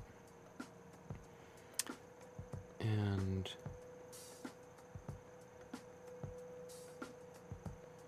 made that a bit more horizontal so it didn't feel like there was a lily pad that was going straight up in the air.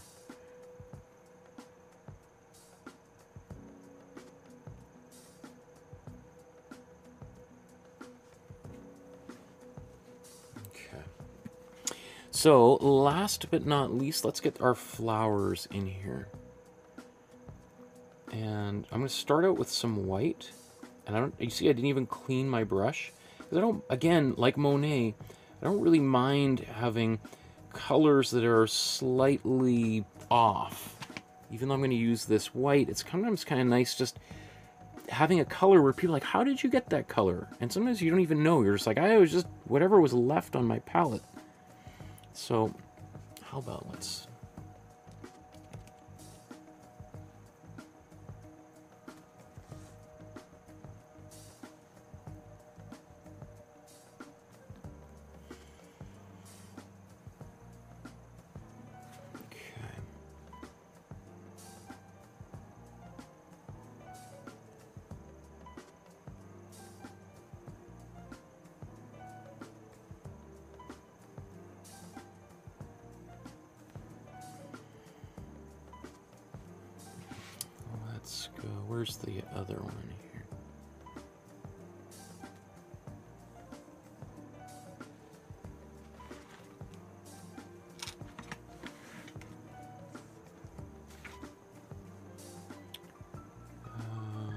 gonna be one here and one there. Okay. So now, uh, I think he's using a little bit of both cool red. So I'm gonna start with a bit of cool red in my white. And I'm not gonna mix this all in. I'm just gonna get a little bit of both on my brush so that when I paint, I'm gonna have kind of a bit of a nuanced color that's got kind of multiple colors in it.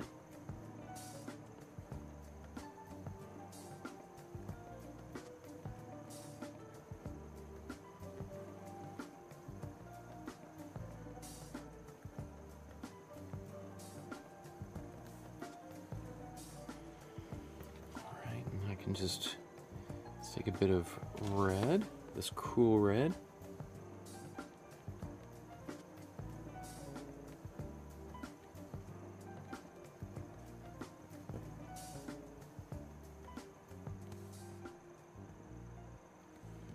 Okay, I'll just leave that like that. Not it's not not done, nor is it perfect. In fact, maybe even take a little bit of blue and make that slight, ever so slightly purpley. Oops, sorry. Where am I? So I took some of my warm blue and my cool red and just mixed that in here.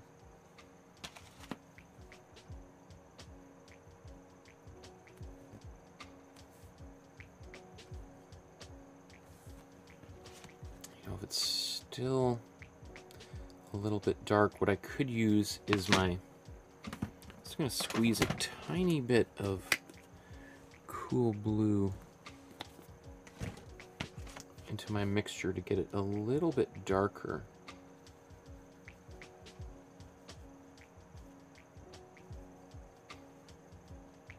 Kind of like this mixture.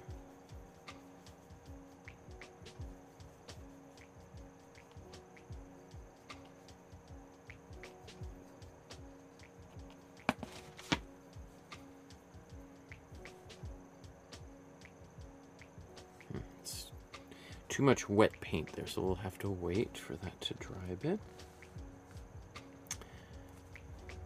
Uh, let's That's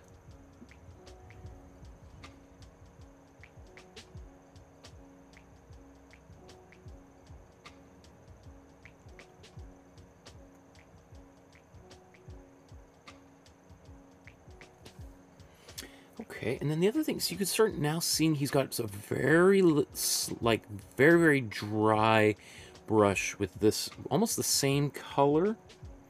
You could use, like, glazing fluid just to dilute it down a little bit.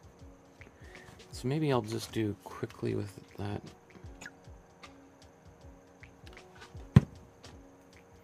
So I just put a little bit of, of my glazing fluid here, mixing this into this color.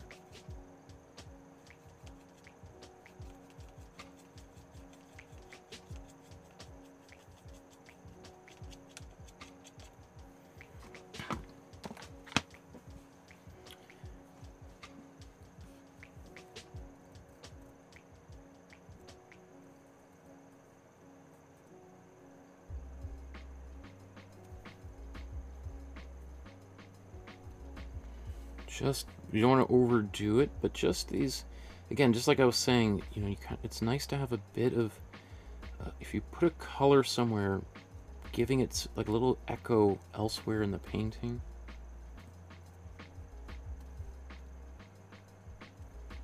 So maybe I'll just zoom back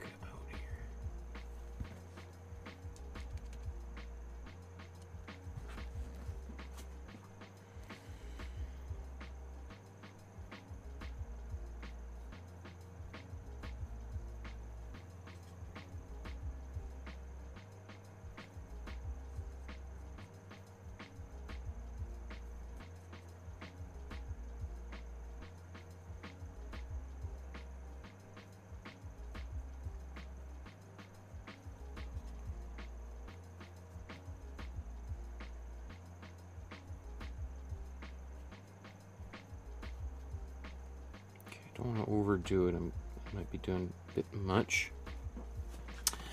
Uh, I'm to get a bit more white on my brush here.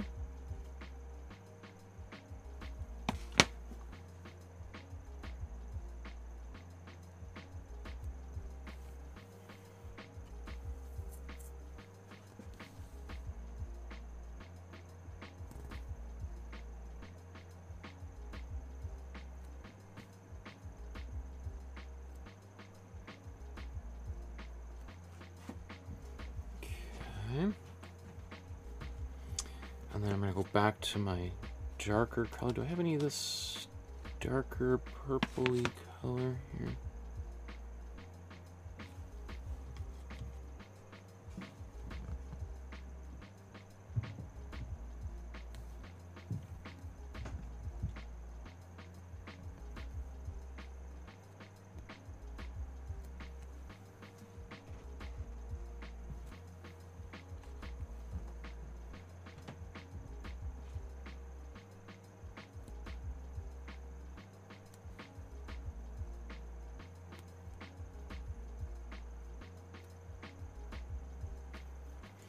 So I should say, really, at this point, I'm looking very little at the original. I kind of glance at it just for a bit of inspiration, but then I move on pretty quickly.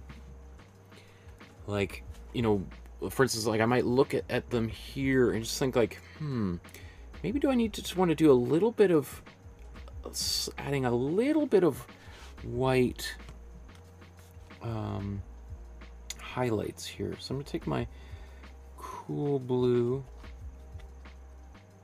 a little bit of cool yellow.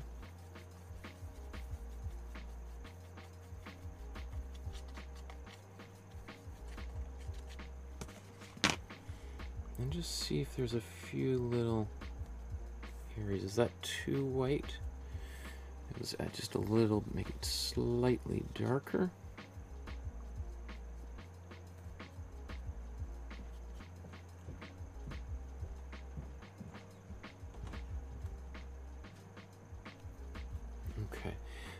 So, um,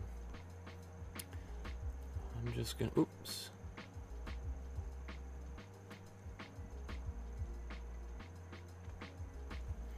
So I just want to do my finishing touches now. I'm just going to add little bits of highlights onto the water lilies, maybe the little orange dot here, just very few minor little details and then we'll be done very soon.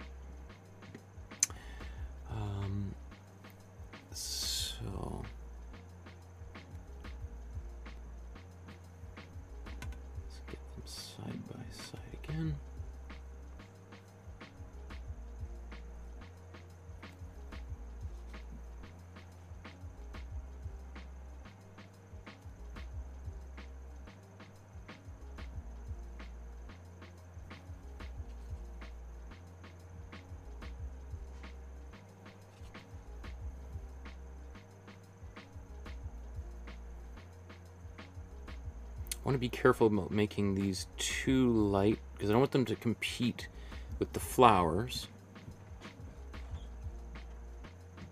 So I don't want too much white in there.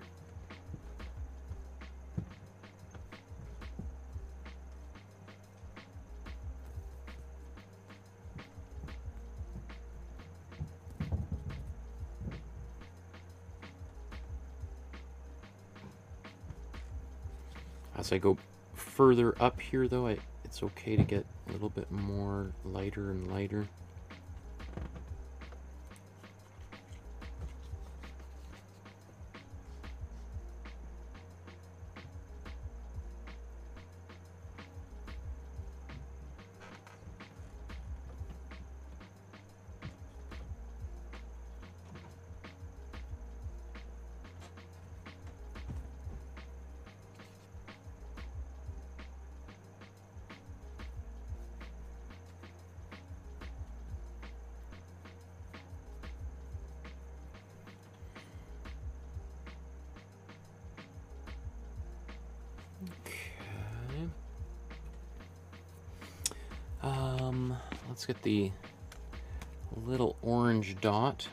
So I'm going to take my warm red and warm yellow, mix those together.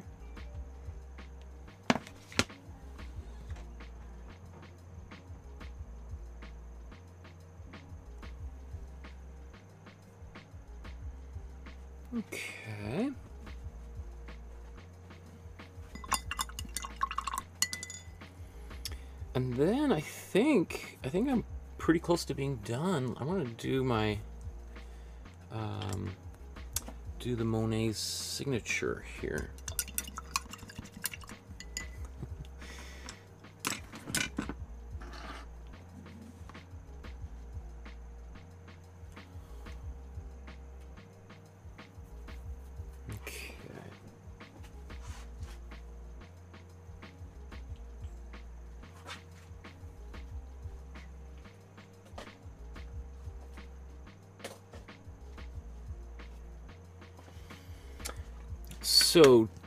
The signature, what I'm going to do is use a Posca pen.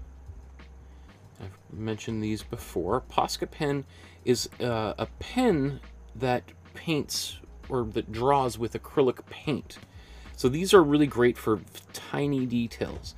The, the one thing with Posca pens is um, it seems like if you get if it could be months after it's dried. If you get a little bit of water on it, it will smudge and run, which I think is is you know, like a major deficit of this material, but it is what it is. So you just have to be careful that you don't, uh, you know, whereas the rest of an acrylic painting, once it's dry, it's usually, um, you know, pretty resistant, like to to water or, uh, but you really don't want to be wiping it with a wet cloth or anything. But the Posca pen does smudge, so just a kind of bit of a heads up. Let's go to...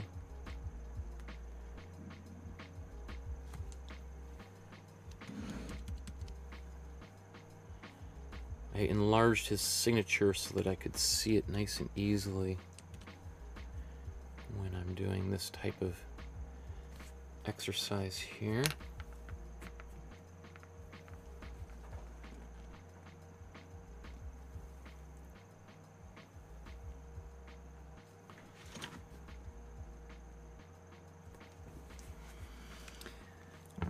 Okay. Um, before I paint, I'm just going to make sure that the Posca pen works.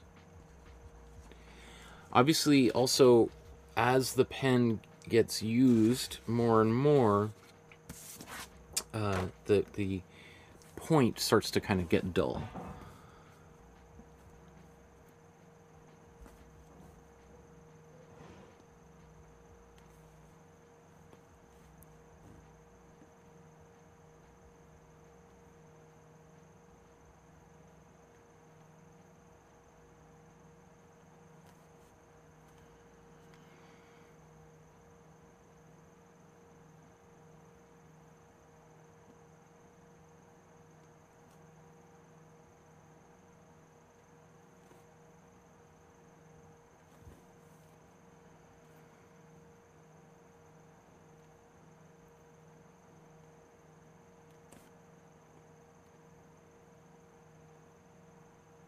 And actually, probably shouldn't have used a black for this, but it just occurred to me right now.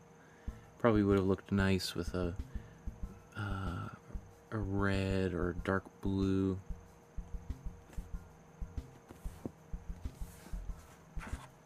That definitely looks like a forged signature. oh, goodness. Um just there's that little little dot of paint that just dry. I keep thinking it's a smudge or something, so I'm just gonna paint it out.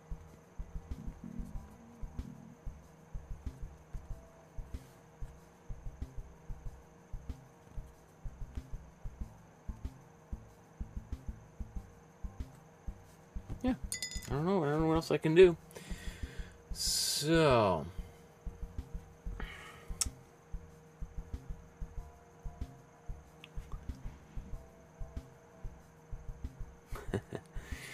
Um, John says, looks great. Gotta go. Have a great evening, guys. Kathy says, my leaves look like stones. I've uh, gotta go. Hubby has dinner ready. See you next week, and thanks. Believe Jesus says, looking great. Thumbs up. Tanya, hey, y'all. This looks amazing as usual. um, cool. So let's uh, let's wrap up here with our side-by-side -side comparisons and just see how these two paintings look and just sort of evaluate maybe what we could do if we had a bit more time. So before we do that, I encourage you to uh, like, subscribe, hit the notification bell here on YouTube so you know when upcoming videos are happening so you don't miss any of those uh, upcoming episodes. Sometimes I do them spontaneously and when you um, take a photograph of your work and upload it to the Facebook group, right? That way you get some feedback from myself, but also from the very active audience that is uh, participating in these classes. Look, we're almost at 500 people. That's amazing. So do that ASAP. Join. And if you want to support the channel, if you want to help me get better audio, um, like the people who donated so I could get better microphones. Uh, again, I buy all the materials, everything, so nothing's sponsored. So these are things that I know that work um, consider making a small donation, as little as a dollar, through the PayPal. There's a link in the description below. So, these two paintings side by side, how did we do here?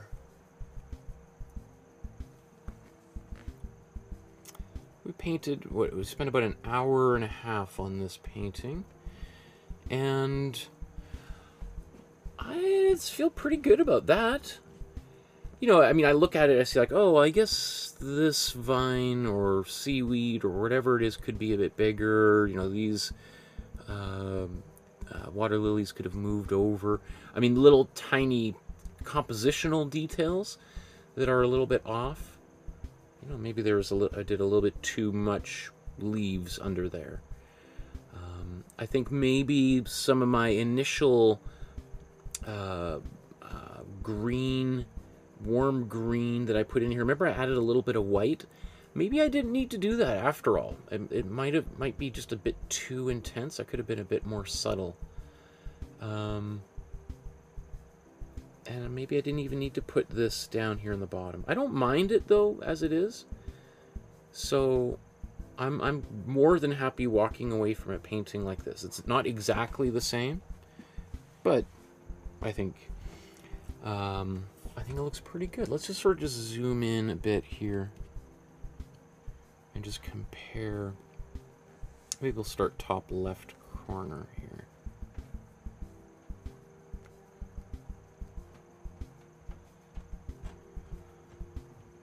Yeah, I mean, I feel like in terms of my brush strokes in this area, I'm pretty close. You can see there's a lot of of, of this dry brush that he's using here. So maybe I could have done more dry brush with this painting. I go down. Obviously, I made the signature much bigger because it would have been just prohibitively small for me to do at this scale. Um, you can also see, obviously, this the painting, the original painting, is two meters wide and just under two meters tall. This is nine by twelve inches, which is you know maybe 20 times smaller. So, you know, even like little these the way that I painted this, you know, it's the the the water lilies have a much wider shape. They don't have quite the nuance that his do, but again, his are much, much, much bigger. So don't worry about making it perfect. Because if, especially if you're painting at this scale, hate to break it to you, but it's unless you're painting with like a tiny, tiny brush that's got one hair on it, you're gonna have a hard time getting all those little nuance. Um, yeah, I mean, I that is definitely not there. These that really dark leaves in there. I, I don't know if I feel like I want to change it though. Um, go to the far right here.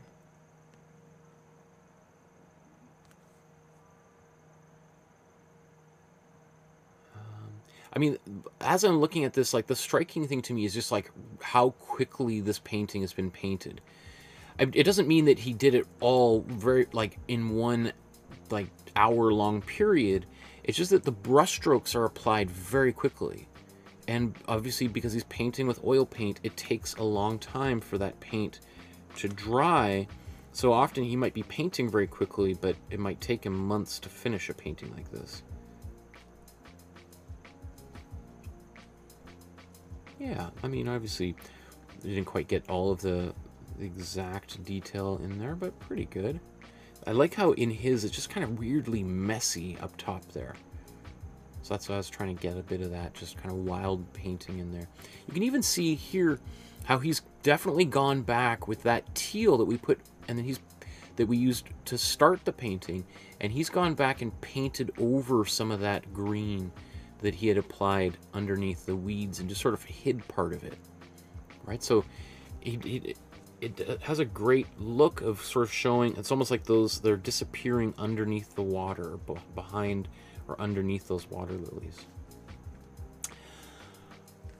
okay so i think we will end it there thank you everyone for painting along with me and i cannot wait to see the painting that you create please join the Facebook group, post it there so that we can all celebrate your work.